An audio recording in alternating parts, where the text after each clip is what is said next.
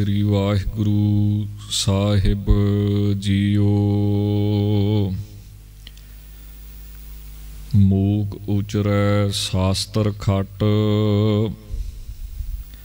ਪਿੰਗ ਗਿਰਨ ਚੜ ਜਾਏ।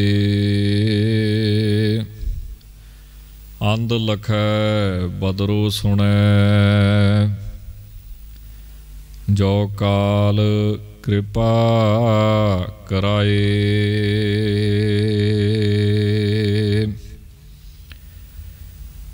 ਕਿਰਪਾ ਕਰੋ ਦੀਨ ਕੇ ਦਾਤੇ ਮੇਰਾ ਗੁਣ ਅਬ ਗੁਣ ਨਾ ਵਿਚਾਰੋ ਕੋਈ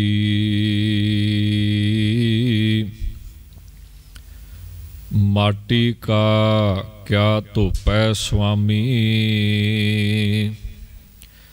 ਮਾਨਸ ਕੀ ਗਤ ਇਹੀ ਸਾਮਤ ਦੇਹੋ ਦਇਆਲ ਪ੍ਰਭ, ਜਿਤ ਤੁਮ ਹੈ ਅਰਾਦਾ ਨਾਨਕ ਮੰਗੈ ਦਾਨ ਪ੍ਰਭ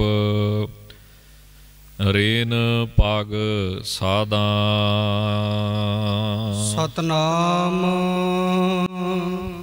ਸ੍ਰੀ ਵਾਹਿਗੁਰੂ ਸਾਹਿਬ ਜੀਓ।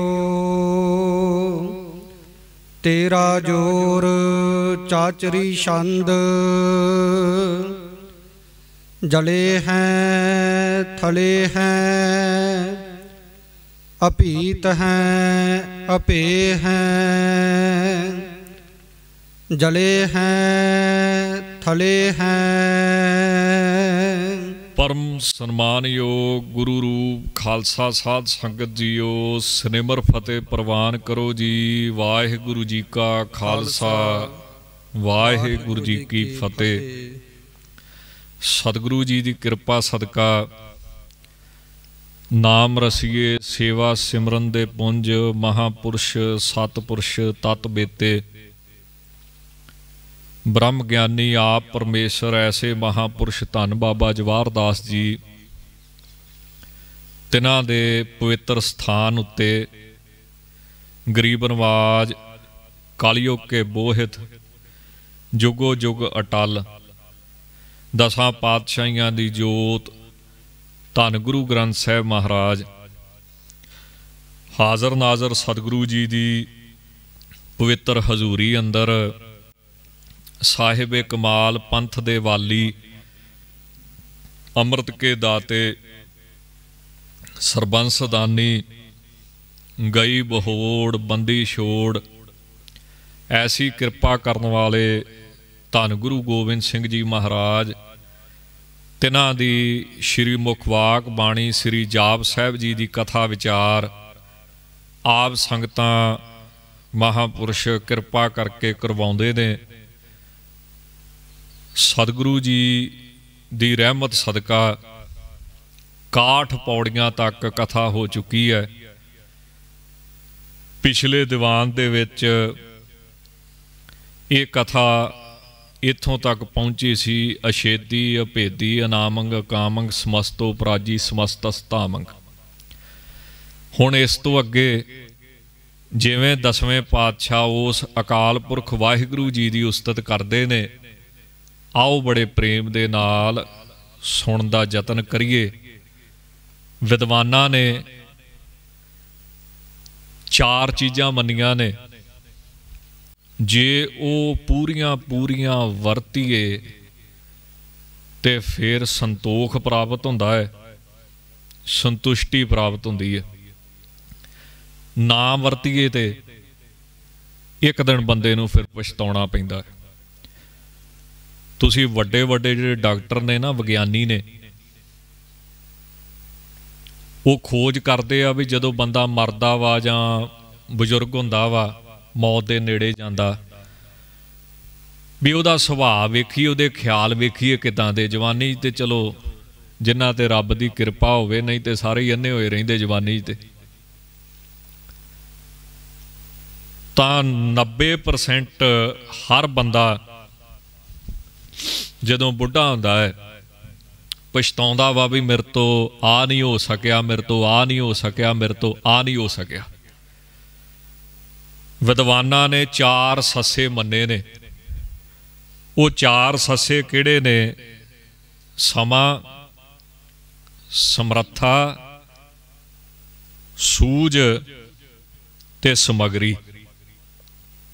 ਫਿਰ ਬੇਨਤੀ ਕਰਾਂ, ਸਮਾਂ ਸਮਰੱਥਾ, ਸੂਝ ਤੇ ਸਮਗਰੀ।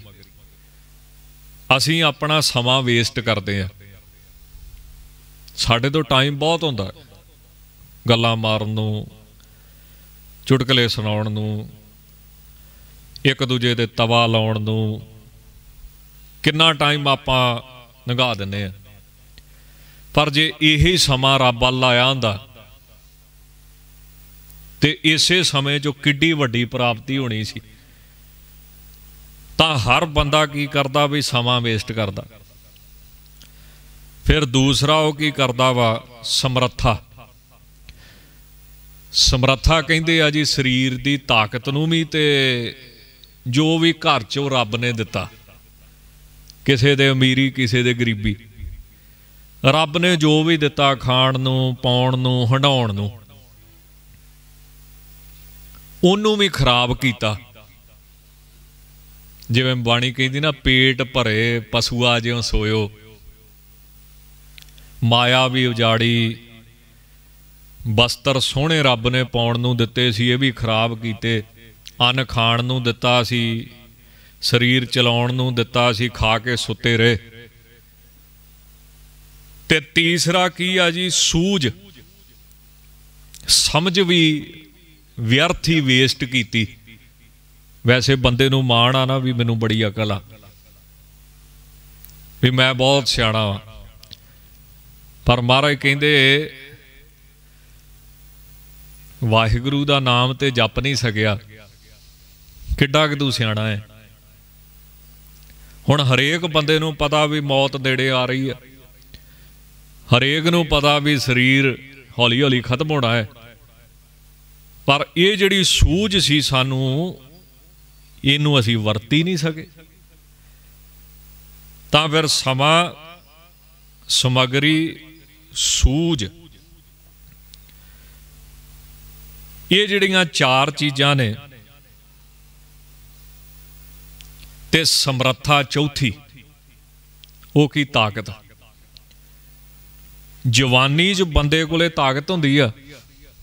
ਫਿਰ ਭਲੇਖਾ ਨਾ ਰਹਿ ਜੇ, ਕਿਉਂ ਸੱਸੇ ਤੋਂ ਆ ਨਾ ਕਈ ਵਾਰੀ ਭਲੇਖਾ ਪੈ ਜਾਂਦਾ। ਸਮਾਂ, ਸੂਝ, ਸਮਗਰੀ ਮੈਨੇ ਜੋ ਰੱਬ ਨੇ ਦਿੱਤਾ ਘਰ 'ਚ। ਤੇ ਚੌਥੀ, ਸਮਰੱਥਾ ਸਰੀਰਕ ਤਾਕਤ। ਹੁਣ ਜਵਾਨੀ ਵਿੱਚ ਸਰੀਰ 'ਚ ਬਲ ਸੀ, ਉਹ ਸੁੱਤਿਆਂ ਗਵਾਤੀ। ਉਹ ਵਕਾਰਾਂ 'ਚ ਗਵਾਤੀ। ਬੁਢੇਪੇ 'ਚ ਭਗਤੀ ਨਹੀਂ ਹੁੰਦੀ। ਬੁਢੇਪੇ 'ਚ ਸਿਰਫ ਸਿਮਰਨ ਹੁੰਦਾ ਵਾ। ਮੈਨੇ ਸਿਮਰਨ ਮੈਨੇ ਯਾਦ ਮਾਤਰ ਕਿਉਂ ਸਰੀਰ 'ਚੋਂ ਬਲ ਨਹੀਂ ਰਹਿ ਜਾਂਦਾ ਹੈ ਜਿਹੜੇ ਪਾਠ ਪੂਜਾ ਅਭਿਆਸ ਸੇਵਾ ਇਹ ਜਵਾਨੀ 'ਚ ਹੀ ਹੁੰਦੀ ਹੈ ਜਦੋਂ ਬੰਦਾ ਬਿਰਧ ਹੋ ਜਾਂਦਾ ਨਾ ਫਿਰ ਹਰੇਕ ਪਾਸੋਂ ਇਹ ਸਾਧਨਾ ਨਹੀਂ ਹੁੰਦੀ ਤੁਸੀਂ ਕਹੋਗੇ ਵੀ ਸ੍ਰੀ ਗੁਰੂ ਅਮਰਦਾਸ ਸਾਹਿਬ ਮਹਾਰਾਜ ਨੇ ਕੀਤੀ ਤੇ ਗੁਰੂ ਅਮਰਦਾਸ ਸਾਹਿਬ ਹਰ ਕੋਈ ਥੋੜੀ ਬਣ ਜਾਣਾ ਹੈ ਹਰੇਕ ਦਿਨ ਨਹੀਂ ਬਣ ਚੱਲਿਆ ਤਾਂ ਇਹ ਚਾਰ ਚੀਜ਼ਾਂ ਅਸੀਂ ਵੇਸਟ ਕਰਦੇ ਆਂ ਜੀ ਆਪਦੀਆਂ। ਸਮਾਂ, ਸੂਝ, ਸਮਗਰੀ ਤੇ ਸਮਰੱਥਾ। ਵਿਅਰਥ ਗਵਾਉਨੇ ਆ ਇਸ ਕਰਕੇ ਜਦੋਂ ਬੰਦਾ ਸਰੀਰ ਛੱਡਣ ਲੱਗਦਾ ਜਾਂ ਮੰਜੇ ਤੇ ਪੈ ਜਾਂਦਾ ਨਾ, ਫਿਰ ਪਛਤਾਉਂਦਾ ਵੀ ਮੈਂ ਆ ਵੀ ਕਰ ਲੈਂਦਾ, ਮੈਂ ਆ ਵੀ ਕਰ ਲੈਂਦਾ, ਮੈਂ ਆ ਵੀ ਕਰ ਲੈਂਦਾ। ਤੇ ਇਦਾਂ ਹੀ ਉਮਰ ਲੰਘਾ ਲੈਂਦਾ ਹੈ ਜਿਨੇ ਚਾਰ ਚੀਜ਼ਾਂ ਦੀ ਪੂਰੀ ਪੂਰੀ ਵਰਤੋਂ ਕੀਤੀ ਜਿਹਨੂੰ ਕਹਿੰਦੇ ਮਿਹਨਤ, ਜਿੰਨੀ ਨਾਮ ਧਿਆਇਆ ਗਏ ਮਸਕਤ ਕਾਲ, ਮਿਹਨਤ ਕੀਤੀ। ਇਹ ਚਾਰ ਚੀਜ਼ਾਂ ਪੂਰੀਆਂ ਪੂਰੀਆਂ ਲਾਈਆਂ, ਸਮਾਂ ਵੀ ਰੱਬ ਵਾਲੇ ਬੰਨੇ ਲਾਇਆ, ਜਾਂ ਦੁਨੀਆ ਵਾਲੇ ਪਾਸੇ ਸੋਚ ਲਓ ਵੀ, ਕਮਾਈ ਵਾਲੇ ਪਾਸੇ ਲਾਇਆ। ਸਮਗਰੀ ਜੋ ਵੀ ਘਰ 'ਚ ਸੀ, ਉਹਨੂੰ ਵਰਤਿਆ, ਆਪਣੀ ਸੂਝ ਵਰਤੀ, ਅਕਲ ਵਰਤੀ, ਤੇ ਆਪਣੀ ਸਰੀਰਕ ਸਮਰੱਥਾ ਵਰਤੀ। ਉਹਨੂੰ ਫਿਰ ਇੱਕ ਦਿਨ ਸੰਤੋਖ ਪ੍ਰਾਪਤ ਹੁੰਦਾ। ਉਹ ਕਿਵੇਂ? ਵੀ हे ਸੱਚੇ ਪਾਤਸ਼ਾਹ ਆਪਣੇ ਜਿਵੇਂ ਕੋਈ ਗੁਰਸਿੱਖ ਅਰਦਾਸ ਕਰਦਾ ਨਾ ਵੀ ਮੈਂ ਯਤਨ ਕੀਤਾ ਬਾਣੀ ਪੜਨ ਦਾ, ਸਿਮਰਨ ਕਰਨ ਦਾ, ਸੇਵਾ ਕਰਨ ਦਾ, ਜਿੰਨੀ ਤੂੰ ਸਮਰੱਥਾ ਦਿੱਤੀ ਸੀ, ਜਿੰਨੀ ਤੂੰ ਤਾਕਤ ਦਿੱਤੀ ਸੀ। ਉਹ ਵੱਖਰੀ ਗੱਲ ਹੈ ਕਿ ਮਿਲਿਆ ਕਿ ਨਹੀਂ ਮਿਲਿਆ। ਪਰ ਆਪਣਾ ਉਦਯੋਗ ਕੀਤਾ ਉਦਯੋਗ ਮੈਨੇ ਆਪਣਾ ਨਿਯਮ ਪੂਰਾ ਕੀਤਾ। ਸਭ ਤੋਂ ਵੱਡੀ ਗੱਲ ਕੀ ਹੈ? ਰੱਬ ਮਿਲੇ ਜਾਂ ਨਾ ਮਿਲੇ, ਮਹਾਂਪੁਰਸ਼ ਕਹਿੰਦੇ ਨੇ ਆਪਣਾ ਉਦਯੋਗ ਪੂਰਾ ਕਰ ਲਓ। ਆਪਣਾ ਨੇਮ ਨਾ ਛੱਡੋ। ਕਿਉਂ? ਜਦੋਂ ਨੇਮ ਪੂਰਾ ਹੁੰਦਾ, ਤਾਂ ਨੇਮ ਪੂਰੇ ਹੋਣ ਕਰਕੇ ਫਿਰ ਕੀ ਪ੍ਰਾਪਤ ਹੁੰਦੀ ਆ? ਸੰਤੁਸ਼ਟੀ। ਸੰਤੋਖ ਬਈ ਅਸੀਂ ਆਪਣਾ ਕੰਮ ਕਰਕੇ ਸੌਣ ਲੱਗੇ ਆ। ਜਿਵੇਂ ਕੀਰਤਨ ਸੋਲਾ ਪੜ੍ਹ ਕੇ ਸੌਣ ਲੱਗੇ ਆ। ਅੱਜ ਦੀ ਦਿਹਾੜੀ ਅਸੀਂ ਆਪਦਾ ਨਿਤਨੇਮ ਪੂਰਾ ਕੀਤਾ ਵਾ, ਆਪਣੀ ਮਰਿਆਦਾ ਪੂਰੀ ਕੀਤੀ ਆ। ਅੱਗੇ ਹੁਣ ਉਸ ਮਾਲਕ ਦੀ ਮਰਜ਼ੀ, ਵਾਹਿਗੁਰੂ ਦੀ ਮਰਜ਼ੀ। ਤਾਂ ਆਪਣਾ ਨਿਯਮ ਪੂਰਾ ਕਰਨ ਕਰਕੇ ਸੰਤੋਖ ਪ੍ਰਾਪਤ ਹੁੰਦਾ ਹੈ। ਸੋ ਗੁਰੂ ਨੇ ਕਿਰਪਾ ਕੀਤੀ ਹੈ। ਇਹ ਜਿਹੜੀਆਂ ਸ਼ੁਭ ਸਿੱਖਾਂ, ਸਿੱਖਿਆ ਸੰਤ ਮਹਾਤਮਾ ਦਿੰਦੇ ਆ ਨਾ, ਧਾਰਮਿਕ ਗ੍ਰੰਥ ਦਿੰਦੇ ਆ, ਬਾਣੀ ਦਿੰਦੀ ਹੈ। ਇਹ ਗੁਰੂ ਸਾਹਿਬ ਕਿਰਪਾ ਕਰਕੇ ਸਾਡੇ ਹਿਰਦੇ 'ਚ ਵਸਾ ਦੇਣ। ਤੇ ਅਸੀਂ ਇਹਨਾਂ ਤੇ ਚੱਲਣ ਲੱਗ ਪਈਏ। ਇਸ ਕਰਕੇ ਸਤਿਗੁਰੂ ਜੀ ਦੀ ਹਜ਼ੂਰੀ ਦੇ ਵਿੱਚ ਆਪਾਂ ਬੈਨੇ ਆ ਅਰਦਾਸਾਂ ਕਰਦੇ ਆ ਬੇਨਤੀਆਂ ਕਰਦੇ ਆ ਆਓ ਇਸ ਸਮੇਂ ਨੂੰ ਸਫਲਾ ਕਰੀਏ ਫਿਰ। ਤਾਂ ਕਲਗੀਧਰ ਸੱਚੇ ਪਾਤਸ਼ਾਹ ਫਰਮਾ ਰਹੇ ਹਨ। ਵਾਹਿਗੁਰੂ ਜੀ ਤੇਰਾ ਜੋਰ, ਚਾਚਰੀ ਛੰਦ ਜਲੇ ਹੈ, ਥਲੇ ਹੈ। ਤੇਰਾ ਜੋਰ ਚਾਚਰੀ ਛੰਦ। ਚਾਚਰੀ ਛੰਦ ਪਹਿਲਾਂ ਵੀ ਆ ਗਿਆ, ਰੂਪ ਹੈ, ਅਨੂਪ ਹੈ ਤੇ। ਇਹਦੇ ਅਰਥ ਪਹਿਲਾਂ ਆ ਚੁੱਕੇ ਨੇ। ਇੱਥੇ ਇੱਕ ਨਵਾਂ ਸ਼ਬਦ ਆਇਆ, ਤੇਰਾ ਜੋਰ। ਹੁਣ ਇਹ ਨਿਮਰਤਾ ਦਾ ਵਾਚਕ ਹੈ। ਕਲਗੀਧਰ ਸੁਆਮੀ ਜੀ, ਕਲਗੀਧਰ ਪਰਮੇਸ਼ਰ ਜੀ ਸਾਨੂੰ ਨਿਮਰਤਾ ਸਿਖਾ ਰਹੇ। ਕਿ ਵਾਹਿਗੁਰੂ ਦੀ ਕਿਰਪਾ ਦੇ ਨਾਲ ਹੀ ਸਭ ਕੁਝ ਪ੍ਰਾਪਤ ਹੁੰਦਾ ਹੈ। ਪੰਜਵੇਂ ਪਾਤਸ਼ਾਹ ਵੀ ਸਮਝਾਉਂਦੇ ਨਾ ਵੀ ਜੇ ਵਾਹਿਗੁਰੂ ਜੀ ਕਿਰਪਾ ਕਰਨ, ਬਖਸ਼ਿਸ਼ ਕਰਨ, ਤੇ ਨਾਮ ਜਪਿਆ ਜਾਂਦਾ ਹੈ। ਆਪ ਜਪਾਏ, ਜਪੈ ਸੋ ਨਾ, ਆਪ ਗਾਵਾਏ ਸੋ ਹਰ ਗੁਣ ਗਾਓ। ਯੂਪੀ ਦੀ ਗੱਲ ਜਦੋਂ ਬਾਬਾ ਜੀ ਨਵੇਂ-ਨਵੇਂ ਮੁਖੀ ਬਣੇ ਟਕਸਾਲ ਦੇ, ਤੇ ਯੂਪੀ ਵਾਲੀ ਸੰਗਤ ਨੇ ਉਧਰ ਸਮਾਗਮ ਰਖਾਏ, ਸੜਕਾਂ ਤੇ ਕੰਨਾਂ ਨੂੰ ਹੱਥ ਲਵਾ ਦਿੰਦੀਆਂ ਸੀ, ਹੁਣ ਪਤਾ ਨਹੀਂ ਬਣ ਗਈਆਂ ਹੁਣ। ਇਹੋ ਜੀਆਂ ਟੁੱਟੀਆਂ ਸੜਕਾਂ।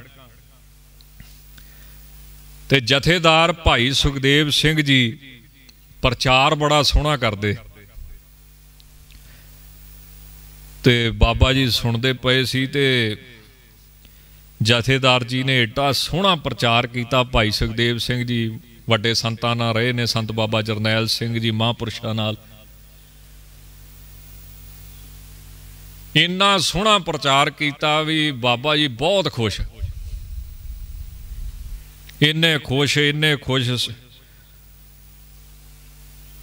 ਉਹ ਹੋਇਆ ਕਿ ਜਦੋਂ ਪ੍ਰਚਾਰ ਦੀ ਸਮਾਪਤੀ ਹੋਣ ਲੱਗੀ ਤੇ ਜਥੇਦਾਰ ਕਹਿੰਦਾ, ਸਾਰੇ ਬਾਹਾਂ ਖੜੀਆਂ ਕਰੋ, ਵੀ ਦੱਸੋ ਕਿੰਨੇ ਪਾਠ ਜਪਜੀ ਸਾਹਿਬ ਦੇ ਕਰਿਆ ਕਰੋਗੇ? ਹੈ ਨਹੀਂ ਗੱਲ ਕਹਿਣ ਦੀ ਦੇਰ ਜਿੱਦਾਂ ਅੱਜ ਕੱਲ ਵੀ ਚੱਲਦਾ ਨਾ ਵੀ ਬਾਹਾਂ ਖੜੀਆਂ ਕਰਕੇ ਕਹੋ ਜੀ, ਇੰਨੇ ਪਾਠ ਕਰਾਂਗੇ। ਤੇ ਬਾਬਾ ਜੀ ਥੋੜੇ ਜੇ ਨਾਰਾਜ਼ ਜੇ ਹੋ ਗਏ। ਜਥੇਦਾਰ ਨੇ, ਚਲੋ ਪ੍ਰਣ ਕਰਾਇਆ ਵੀ ਰੋਜ਼ 10 ਪਾਠ ਕਰੋਗੇ ਜਪਜੀ ਸਾਹਿਬ ਦੇ, ਰੋਜ਼ 25 ਪਾਠ ਕਰੋਗੇ ਜਪਜੀ ਸਾਹਿਬ ਦੇ। ਤੇ ਜਥੇਦਾਰ ਜਦੋਂ ਥੱਲੇ ਉਤਰਿਆ, ਮੈਨੂੰ ਆਪ ਭਾਈ ਸਾਹਿਬ ਸੁਣਾਉਂਦੇ, ਭਾਈ ਸੁਖਦੇਵ ਸੁਣੀ ਦੱਸਦੇ ਹੁੰਦੇ। ਕਹਿੰਦੇ, ਮੈਂ ਥੱਲੇ ਉਤਰਿਆ ਤੇ ਸੰਤ ਕਹਿਣ ਲੱਗੇ, ਬਾਬਾ ਜੀ ਕਹਿਣ ਲੱਗੇ ਵੀ ਅੱਜ ਇੰਨਾ ਸੋਹਣਾ ਪ੍ਰਚਾਰ ਕੀਤਾ ਸੀ, ਮੈਂ ਇੰਨਾ ਖੁਸ਼ ਵੀ ਕਮਾਲ ਕਰਤੀ ਬਈ। ਜਹੇਦਾਰਾ ਤੂੰ ਕਿਹੜਾ ਕਿਤੇ ਕਥਾ ਗੁਰਪ੍ਰਤਾਪ ਦੀ ਪੜਿਆ ਵਾਂ ਜਾਂ ਇੰਨਾ ਸੋਹਣਾ ਪ੍ਰਚਾਰ, ਇੰਨਾ ਰਸ। ਪਰ ਕਹਿੰਦੇ ਜਿਹੜੀ ਅਖੀਰਲੀ ਗੱਲ ਕਹੀ ਨਾ, ਤੂੰ ਵੀ ਪ੍ਰਾਣ ਕਰੋ ਇੰਨੇ ਪਾਠ ਜਪਜੀ ਸਾਹਿਬ ਦੇ ਕਰਿਆ ਕਰਾਂਗੇ, ਇੰਨੇ ਪਾਠ ਸੁਗਣੀ ਸਾਹਿਬ ਦੇ ਕਰਿਆ ਕਰਾਂਗੇ। ਕਹਿੰਦੇ ਸਾਰੀ ਹੀ ਜਿਵੇਂ ਕਹਿ ਦਿੰਦੇ ਨਾ ਵੀ ਗੇਲੀ ਗਾਲਤੀ। ਕਹਿੰਦੇ ਮਹਾਰਾਜ ਵੀ ਗੱਲ ਕੀ ਹੋ ਗਈ? ਕਹਿੰਦੇ ਜਥੇਦਾਰਾ ਵੀ ਬਾਣੀ ਰੱਬ ਪੜਾਵੇ ਦੇ ਪੜੀ ਜਾਂਦੀ ਆ, ਪ੍ਰਾਣ ਕਰਾਇਆ ਨਹੀਂ, ਬਾਣੀਆਂ ਪੜੀਆਂ ਜਾਂਦੀਆਂ। ਅਸੀਂ ਤੁਸੀਂ ਕੌਣ ਆ? ਬਾਣੀ ਪੜਾਉਣ ਵਾਲੇ ਕਿਸੇ ਨੂੰ।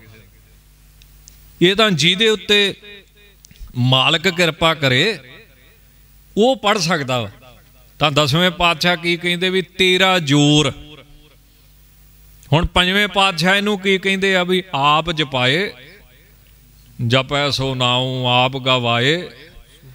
ਸੋ ਹਰ ਗੁਣ ਗਾਓ। ਇਹ ਤਾਂ ਮਹਾਰਾਜ ਕਿਰਪਾ ਕਰਨ ਫਿਰ ਬਾਣੀ ਪੜ੍ਹੀ ਜਾਂਦੀ ਹੈ, ਫਿਰ ਸੇਵਾ ਹੁੰਦੀ ਹੈ ਫਿਰ ਸਿਮਰਨ ਹੁੰਦਾ। ਰੱਬ ਦੀ ਕਿਰਪਾ ਤੋਂ ਬਿਨਾ ਥੋੜੀ ਹੁੰਦਾ।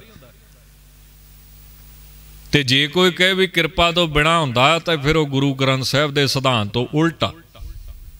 ਉਹ ਗੁਰਬਾਣੀ ਨਹੀਂ ਇਸ ਗੱਲ ਨੂੰ ਮੰਨਦੀ ਹੈ ਉਹਦੀ ਆਪਦੀ ਮੱਤ ਹੋਊਗੀ, ਉਹਨੂੰ ਮੁਬਾਰਕ।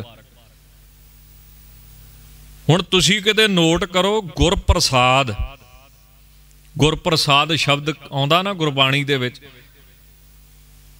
ਹੁਣ ਤੁਸੀਂ ਬਾਣੀ ਪੜ੍ਹਦਿਆਂ ਹੋਇਆ ਆਪਾਂ ਜਦੋਂ ਬਾਣੀ ਪੜਾਂਗੇ ਉੱਥੇ ਇਹ ਸ਼ਬਦ ਆਊਗਾ, ਇਹੋ ਤਿਨਕੈ ਮਨ ਵਸਿਆ ਜਿਨ ਧੁਰੋਂ ਲਿਖਿਆ ਆਇਆ। ਜਾਂ ਇਹ ਸ਼ਬਦ ਆਵੇਗਾ ਵੀ ਜਿਨ੍ਹਾਂ ਤੋਂ ਧੁਰ ਤੇ ਧੁਰੋਂ ਕਿਰਪਾ ਸੀ। ਜਾਂ ਫਿਰ ਆਊਗਾ ਗੁਰਪ੍ਰਸਾਦ ਹਰ ਮਨ ਵਸਿਆ। ਗੁਰੂ ਦੀ ਕਿਰਪਾ ਨਾਲ। ਜਦੋਂ ਗੁਰੂ ਕਿਸੇ ਤੇ ਕਿਰਪਾ ਕਰੇ, ਤਾਂ ਦਸਵੇਂ ਪਾਤਸ਼ਾਹ ਇਸ ਛੰਦ 'ਚ ਇੱਕ ਨਵੀਂ ਚੀਜ਼ ਲਿਖਦੇ ਆ ਵੀ ਜੋ ਵੀ ਹੁੰਦਾ ਰੱਬ ਦੇ ਜ਼ੋਰ ਕਰਕੇ ਹੈ। ਉਹਦੀ ਕਿਰਪਾ ਨਾਲ ਹੈ। ਤੇ ਜਪਜੀ ਸਾਹਿਬ 'ਚ ਇਹਦੀ ਇੱਕ ਪੂਰੀ ਪੌੜੀ ਆ। ਆਪਾਂ ਪੜ੍ਹਦੇ ਆ ਜੋਰ ਨਾ ਜੀਵਨ, ਮਰਨ ਨਾ ਜੋਰ ਜੋਰ ਨਾ ਰਾਜ, ਮਾਲ, ਮਨ, ਸੋਰ। ਜੋਰ ਨਾ ਸੁਰਤੀ, ਗਿਆਨ ਵਿਚਾਰ, ਜੋਰ ਨਾ ਜੁਗਤੀ, ਛੁਟੇ ਸੰਸਾਰ। ਹੁਣ ਅਗਲੇ ਬਚਨ ਕੀ, ਜਿਸ ਹੱਥ ਜੋਰ ਕਰ ਵੇਖੈ ਸੋਏ, ਨਾਨਕ ਉਤਮ ਨੀਚ ਨਾ ਕੋਏ। ਪਰਮਾਤਮਾ ਦੀ ਕਿਰਪਾ ਤੋਂ ਬਿਨਾ ਸੇਵਾ ਸਿਮਰਨ ਕਿਸੇ ਦੇ ਵੱਸ ਦੀ ਗੱਲ ਨਹੀਂ। ਇਹ ਬਰਕਤ ਪਰਮਾਤਮਾ ਦੀ ਕਿਰਪਾ ਦੇ ਨਾਲ ਮਿਲਦੀ ਹੈ ਤੇ ਆਪ ਜੀ ਹੈਰਾਨ ਹੋਵੋਗੇ, ਦੁਨੀਆ ਦੇ ਵਿੱਚ ਕੋਈ ਬੰਦਾ ਗਰੰਟੀ ਨਹੀਂ ਲੈਂਦਾ। ਵੈਸੇ ਤੇ ਗਰੰਟੀ ਕਈ ਚੀਜ਼ਾਂ ਦੀ ਨਹੀਂ ਆ। ਆ ਜਿਹੜੇ ਇੰਸ਼ੋਰੈਂਸ ਕਰਦੇ ਹੁੰਦੇ ਨਾ, ਵੀ ਜੇ ਤੂੰ ਇੰਨੇ ਚਿਰ ਚ ਮਰ ਗਿਆ ਤੇ ਤੇਰੇ ਪਰਿਵਾਰ ਨੂੰ, ਤੇਰੀ ਫੈਮਿਲੀ ਨੂੰ, ਟੱਬਰ ਨੂੰ ਇੰਨੇ ਦਵਾਂਗੇ। ਇੰਨੇ ਲੱਖ ਮਿਲੂਗਾ 1 ਕਰੋੜ ਮਿਲੂਗਾ 70 ਲੱਖ ਮਿਲੂਗਾ। ਉਹ ਇੰਸ਼ੋਰੈਂਸ ਕੀ ਕਰਦੇ ਵੀ ਜੇ ਤੂੰ ਐਸ ਉਮਰ ਦੇ ਵਿੱਚ ਮਰ ਗਿਆ, ਜਿਵੇਂ ਕੋਈ ਸਰਕਾਰੀ ਨੌਕਰੀ ਕਰਦਾ ਹੈ, ਥਾਣੇਦਾਰ ਹੈ ਪੁਲਿਸ 'ਚ। ਨੌਕਰੀ ਤੇ ਮਰ ਗਿਆ ਤੇ ਉਹ ਗਾਂ ਉਹਦੇ ਬੱਚੇ ਨੂੰ ਨੌਕਰੀ ਮਿਲਦੀ ਹੈ। ਇਦਾਂ ਇੰਸ਼ੋਰੈਂਸ ਪਾਲਿਸੀਆਂ ਅੱਜ ਕੱਲ ਆਉਂਦੀਆਂ ਨੇ। ਗੁਰਬਾਣੀ ਕਹਿੰਦੀ ਹੈ ਵੀ ਦੁਨੀਆ ਵਿੱਚ ਕਿਸੇ ਚੀਜ਼ ਦੀ ਗਾਰੰਟੀ ਨਹੀਂ। ਸਭ ਕੁਝ ਖਿੰਨ ਭੰਗਰ ਆ। ਇੱਕ ਖਿੰਨ ਲੱਗਦਾ ਸਭ ਕੁਝ ਬਦਲਣ। ਨੂੰ ਖਤਮ ਹੋਣ ਨੂੰ ਦੁਨੀਆ 'ਚ ਕੋਈ ਬੰਦਾ ਗਰੰਟੀ ਨਹੀਂ ਲੈ ਸਕਦਾ ਵੀ ਤੰਦਰੁਸਤੀ ਰਹੂਗੀ ਹਮੇਸ਼ਾ। ਲੈ ਸਕਦਾ ਕੋਈ? ਜਵਾਨੀ ਰਹੂਗੀ ਹਮੇਸ਼ਾ। ਸੁਖ ਰਹੂਗਾ ਹਮੇਸ਼ਾ। ਪੈਸਾ ਰਹੂਗਾ ਹਮੇਸ਼ਾ। ਇਹਨਾਂ ਚੀਜ਼ਾਂ ਦੀ ਕੋਈ ਗਰੰਟੀ ਨਹੀਂ। ਔਰ ਇੱਕੋ ਇੱਕ ਗੁਰੂ ਗ੍ਰੰਥ ਸਾਹਿਬ ਮਹਾਰਾਜਾ ਜਿਹੜੇ ਕਹਿੰਦੇ ਆ, ਗੁਰਬਾਣੀ ਕਹਿੰਦੀ ਆ ਵੀ ਮੈਂ ਤੇਰੀ ਗਰੰਟੀ ਲੈਣ ਨੂੰ ਤਿਆਰ ਹਾਂ, ਰੱਬ ਕਹਿੰਦਾ। ਉਹ ਕੀ? ਇਹ ਕੋਈ ਵੀ ਕੰਮ ਕਰਨਾ ਹੋਵੇ, ਪਹਿਲਾਂ ਅਰਦਾਸ ਕਰ। ਵਾਹਿਗੁਰੂ ਨੂੰ ਵਿੱਚ ਵਿਚੂਲਾ ਪਾ ਲਾ। ਫਿਰ ਉਹਦੀ ਜ਼ਿੰਮੇਵਾਰੀ ਵਾਹਿਗੁਰੂ ਤੇ ਬਣ ਜਾਂਦੀ ਹੈ ਤੇ ਜਦੋਂ ਉਹ ਜ਼ਿੰਮੇਵਾਰੀ ਫਿਰ ਸੱਚੇ ਪਾਤਸ਼ਾਹ ਤੇ ਪੈ ਜਾਂਦੀ ਹੈ, ਫਿਰ ਉਹ ਆਪਦੀ ਮਰਜ਼ੀ ਨਾਲ, ਆਪਣੀ ਕਿਰਪਾ ਨਾਲ, ਜਿਵੇਂ ਚਾਵੇ ਫਿਰ ਉਵੇਂ ਹੀ ਬੰਨੇ ਲਾਉਂਦਾ, ਬੇੜਾ ਪਾਰ ਕਰਦਾ ਹੈ। ਹੁਣ ਤੁਸੀਂ ਪੁੱਛੋਗੇ ਵੀ ਇਹ ਗਾਰੰਟੀ ਕਿੱਥੇ ਹੈ? ਆਪਾਂ ਪੜ੍ਹਦੇ ਆ ਨਾ, ਅਰਦਾਸ ਕਰਨ ਲੱਗਿਆ ਤੀਨੇ ਤਾਪ ਨਿਵਾਰਣ ਹਾਰਾ, ਦੁਖ ਹੰਤਾ, ਸੁਖ ਰਾਸ ਤਾ ਕੋ ਬਿਗਨ ਨਾ ਕੋ ਲਾਗੇ ਜਾ ਕੀ, ਪ੍ਰਭ ਅਗੇ ਅਰਦਾਸ। ਕੀਤਾ ਲੋੜੀਐ ਕੰਮ ਸੋ ਹਰ ਪੈ ਆਖੀਐ। ਕਿੰਨੇ ਬਚਨ ਆਉਂਦੇ? ਤਾ ਆਪਣੇ ਗੁਰਬਾਣੀ ਤੇ ਇੱਥੋਂ ਤੱਕ ਕਹਿੰਦੀ ਹੈ ਵਿੱਚ ਕਰਤਾ ਪੁਰਖ ਖਲੋਆ, ਵਾਲ ਨਾ ਵਿੰਗਾ ਤਾਂ ਇਹ ਮਹਾਰਾਜ ਸਾਨੂੰ ਜਾਚ ਦੱਸਦੇ ਆ ਕਿੰਨੀ ਨਿਮਰਤਾ ਦਸਵੇਂ ਪਾਤਸ਼ਾਹ ਚ, ਕਿੰਨਾ ਪ੍ਰੇਮ ਆ ਪਰਮੇਸ਼ਰ ਨਾਲ। ਆ ਚਾਚਰੀ ਸੰ ਜਿਹੜਾ ਇਹ ਹੈ ਇਹਦੀਆਂ ਮੇਰੇ ਖਿਆਲ ਨਾਲ ਚਾਰ ਕ ਪੌੜੀਆਂ ਹੀ ਆ। ਜਾਂ ਇੱਕ ਪੌੜੀ ਚ ਚਾਰ ਬੰਦ ਨੇ। ਦੋ ਪੌੜੀਆਂ ਨੇ ਅੱਠ ਬੰਦ ਨੇ। ਹੁਣ ਅੱਠ ਬੰਦ ਲਿਖਣ ਵਾਸਤੇ ਕਹਿ ਦਿੱਤਾ ਵੀ ਇਹ ਵੀ ਤੇਰੀ ਕਿਰਪਾ ਦੇ ਨਾਲ ਹੀ ਕਲਮ ਚੱਲੇਗੀ। ਇਹ ਵੀ ਤੇਰੀ ਕਿਰਪਾ ਦੇ ਨਾਲ ਹੀ ਬੋਲ ਪਾਵਾਂਗਾ ਲਿਖ ਪਾਵਾਂਗਾ। ਤਾਂ ਸਤਿਗੁਰੂ ਫਰਮਾਉਂਦੇ ਹਨ ਜਲੇ ਹੈ ਥਲੇ ਹੈ। हे ਵਾਹਿਗੁਰੂ ਪਰਮੇਸ਼ਰ ਜੀ ਜਲ ਨਮੀ ਵਾਲੀ ਥਾਂ ਦੇ ਵਿੱਚ ਵੀ ਤੂੰ ਹੀ ਹੈ। ਜਾਂ ਪਾਣੀ ਵਿੱਚ ਵੀ ਤੂੰ ਹੀ ਹੈ। ਥਲੇ ਹੈ। ਥਾਲ ਕਿਨੂੰ ਕਹਿੰਦੇ ਖੁਸ਼ਕ ਨੂੰ। ਰੇਤਾ ਦੇ ਟਿੱਬੇ ਖੁਸ਼ਕ ਥਾਵਾਂ। ਤੇ ਮਹਾਂਪੁਰਸ਼ ਇਹਦਾ ਅੰਤਰੀਵ ਅਰਥ ਇਦਾਂ ਕਰਦੇ, ਜਾਲ ਮੈਨੇ ਨਮੀ। ਤੇ ਥਲ ਮੈਨੇ ਖੁਸ਼ਕੀ। ਹੁਣ ਨਮੀ ਮੈਨੇ ਸ਼ਰਧਾ, ਭਾਵਨਾ। ਜਿਹੜੇ ਪਰਮੇਸ਼ਰ ਨੂੰ ਮੰਨਣ ਵਾਲੇ ਗੁਰਮੁਖ ਨੇ ਨਾ ਭਾਵਨਾ ਵਾਲਿਆਂ ਵਿੱਚ ਵੀ ਤੂੰ ਹੀ ਆ। ਤੇ ਥਲ ਜਿਹੜੇ ਖੁਸ਼ਕ ਨੇ ਨਾ ਖੁਸ਼ਕ, ਕਿੰਤੂ ਪਰੰਤੂ ਕਰਨ ਵਾਲੇ ਜਾਂ ਨਾਸਤਕ ਬੈਠਾ ਉਹਨਾਂ ਵਿੱਚ ਵੀ ਤੂੰ ਹੀ ਹੈ ਉਹ ਵੱਖਰੀ ਗੱਲ ਹੈ ਕਿ ਉਹ ਕੋਈ ਲਾਭ ਨਹੀਂ ਪ੍ਰਾਪਤ ਕਰ ਸਕਦੇ। ਉਹਨਾਂ ਨੂੰ ਕੋਈ ਉਸ ਵਾਹਿਗੁਰੂ ਦਾ ਲਾਭ ਨਹੀਂ ਪ੍ਰਾਪਤ ਹੋਣਾ। ਜਿਵੇਂ ਉਦਾਹਰਨ ਦਿੰਦੇ ਨਾ, ਭਾਈ ਸਾਹਿਬ, ਭਾਈ ਸੰਤੋਖ ਸਿੰਘ ਜੀ ਮਹਾਰਾਜ, ਵੀ ਪਾਣੀ ਧਰਤੀ 'ਚ ਹੈ। ਹੈਗਾ ਧਰਤੀ 'ਚ। ਪਰ ਲਾਭ ਤੇ ਕੋਈ ਨਹੀਂ ਨਾ, ਲਾਭ ਤਾਂ ਹੀ ਆ ਜੇ ਨਲਕਾ ਲਾ ਕੇ ਉਹਨੂੰ ਬਾਹਰ ਲਿਆਓ, ਜਾਂ ਖੂਹ ਪੁੱਟੋ, ਜਾਂ ਨਦੀ ਹੋਵੇ। ਇਦਾਂ ਜਿਹੜੇ ਨਾਸਤਕ ਬੰਦੇ ਆ ਨਾ, ਉਹਨਾਂ ਦੇ ਅੰਦਰ ਰੱਬ ਪਤਾ ਕਿੱਦਾਂ ਰਹਿੰਦਾ, ਜਿੱਦਾਂ ਮਿੱਟੀ ਦੇ ਥੱਲੇ ਪਾਣੀ। ਧਰਤੀ ਦੇ ਥੱਲੇ ਪਾਣੀ, ਕੋਈ ਲਾਭ ਨਹੀਂ। ਤੇ ਜਿਹੜੇ ਗੁਰਮੁਖ ਬੰਦੇ ਉਹਨਾਂ 'ਚ ਵਾਹਿਗੁਰੂ ਜਿਹੜੇ ਰੱਬ ਨੂੰ ਮੰਨਦੇ ਆ, ਪਰ ਜਪ ਤਪ ਨਹੀਂ ਕਰਦੇ, ਸੇਵਾ ਨਹੀਂ ਕਰਦੇ, ਉਹਨਾਂ 'ਚ ਰੱਬ ਦਾ ਕਿੰਨਾ ਕੁ ਲਾਭ ਹੁੰਦਾ ਜਿਵੇਂ ਨਲਕਾ ਲੱਗਾ। ਜਿਹੜੇ ਹੋਰ ਭਗਤੀ ਵਾਲੇ ਉਹ ਕਿਦਾਂ ਦੇ ਹੁੰਦੇ ਨੇ ਗੁਰਮੁਖ ਲੋਕ ਜਿਵੇਂ ਖੂਹ ਦਾ ਪਾਣੀ, ਕਿੰਨਾ ਨੇੜੇ ਹੋ ਗਿਆ। ਤੇ ਬ੍ਰਹਮ ਗਿਆਨੀਆਂ ਦੇ ਰੱਬ ਕਿਦਾਂ ਨੇੜੇ ਹੁੰਦਾ, ਜਿਵੇਂ ਸਾਹਮਣੇ ਨਦੀ ਵਗਦੀ ਹੈ, ਸਪਸ਼ਟ, ਕੋਈ ਓਲਾ ਨਹੀਂ। ਜਿਵੇਂ ਪੰਜਵੇਂ ਪਾਤਸ਼ਾਹ ਕਹਿੰਦੇ ਵੀ, ਪੰਜਵੇਂ ਪਾਤਸ਼ਾਹ ਮਹਾਰਾਜ ਕੀ ਕਹਿੰਦੇ ਵੀ, ਰੱਬ ਦੀਆਂ ਗੱਲਾਂ ਨਹੀਂ ਕਰਦਾ, ਰੱਬ ਵੇਖਿਆ ਵੀ ਆ। ਰੱਬ ਦੇ ਮਹਿਲ ਮਨਾਰੇ ਵੀ ਵੇਖੇ ਆ। ਰੱਬ ਦਾ ਸੱਚਖੰਡ ਦਾ ਦਰਬਾਰ ਵੀ ਵੇਖਿਆ। ਆਪਾਂ ਸ਼ਬਦ ਪੜ ਸੁਣਦੇ ਹੁੰਦੇ ਨਾ, ਮੋਹਨ ਤੇਰੇ ਉੱਚੇ ਮੰਦਰ ਮਹਿਲ ਅਪਾਰਾ। ਕੱਲਾ ਰੱਬ ਦੀਆਂ ਗੱਲਾਂ ਨਹੀਂ ਆ, ਰੱਬ ਦੇਖਿਆ ਵੀ ਆ ਤੇ ਰੱਬ ਜਿੱਥੇ ਰਹਿੰਦਾ ਸੱਚਖੰਡ ਦੇ ਵਿੱਚ, ਉਹਦੇ ਮਹਿਲ ਮਨਾਰੇ ਵੀ ਦੇਖੇ ਤਾਂ ਸਤਿਗੁਰੂ ਸੱਚੇ ਪਾਤਸ਼ਾਹ ਕੀ ਕਹਿੰਦੇ ਆ ਵੀ ਪਰਮੇਸ਼ਰ ਹਰ ਇੱਕ ਵਿੱਚ ਹੀ ਆ ਜੀ। ਆ ਪਿੱਛੇ ਜੇ ਸਾਖੀ ਤੁਸੀਂ ਸੁਣੀ ਵੀ ਹੋਊਗੀ, ਫੇਰ ਸੁਣਾ ਦਿੰਦਾ ਵਾਂ। ਵੀ ਜਿਵੇਂ ਚਾ ਪੰਜ ਚੋਰ ਸੀ ਤੇ ਰਾਤ ਨੂੰ ਖਲੋਤੇ ਗਲੀ ਦੇ ਵਿੱਚ ਤੇ ਇੱਕ ਬਾਦਸ਼ਾਹ ਜਿਨੇ ਭੇਸ ਬਦਲਿਆ ਸੀ, ਉਹਨੇ ਲੈ ਵੇਖ। ਸਾਖੀ ਜਿਹੜੀ ਹੁੰਦੀ ਸਿਰਫ ਸਿੱਖਿਆ ਲੈਣ ਲਈ ਹੁੰਦੀ ਹੈ ਸਾਖੀ ਦਾ ਹਰ ਹਿੱਸਾ ਨਹੀਂ ਲੱਗਦਾ ਹੁੰਦਾ।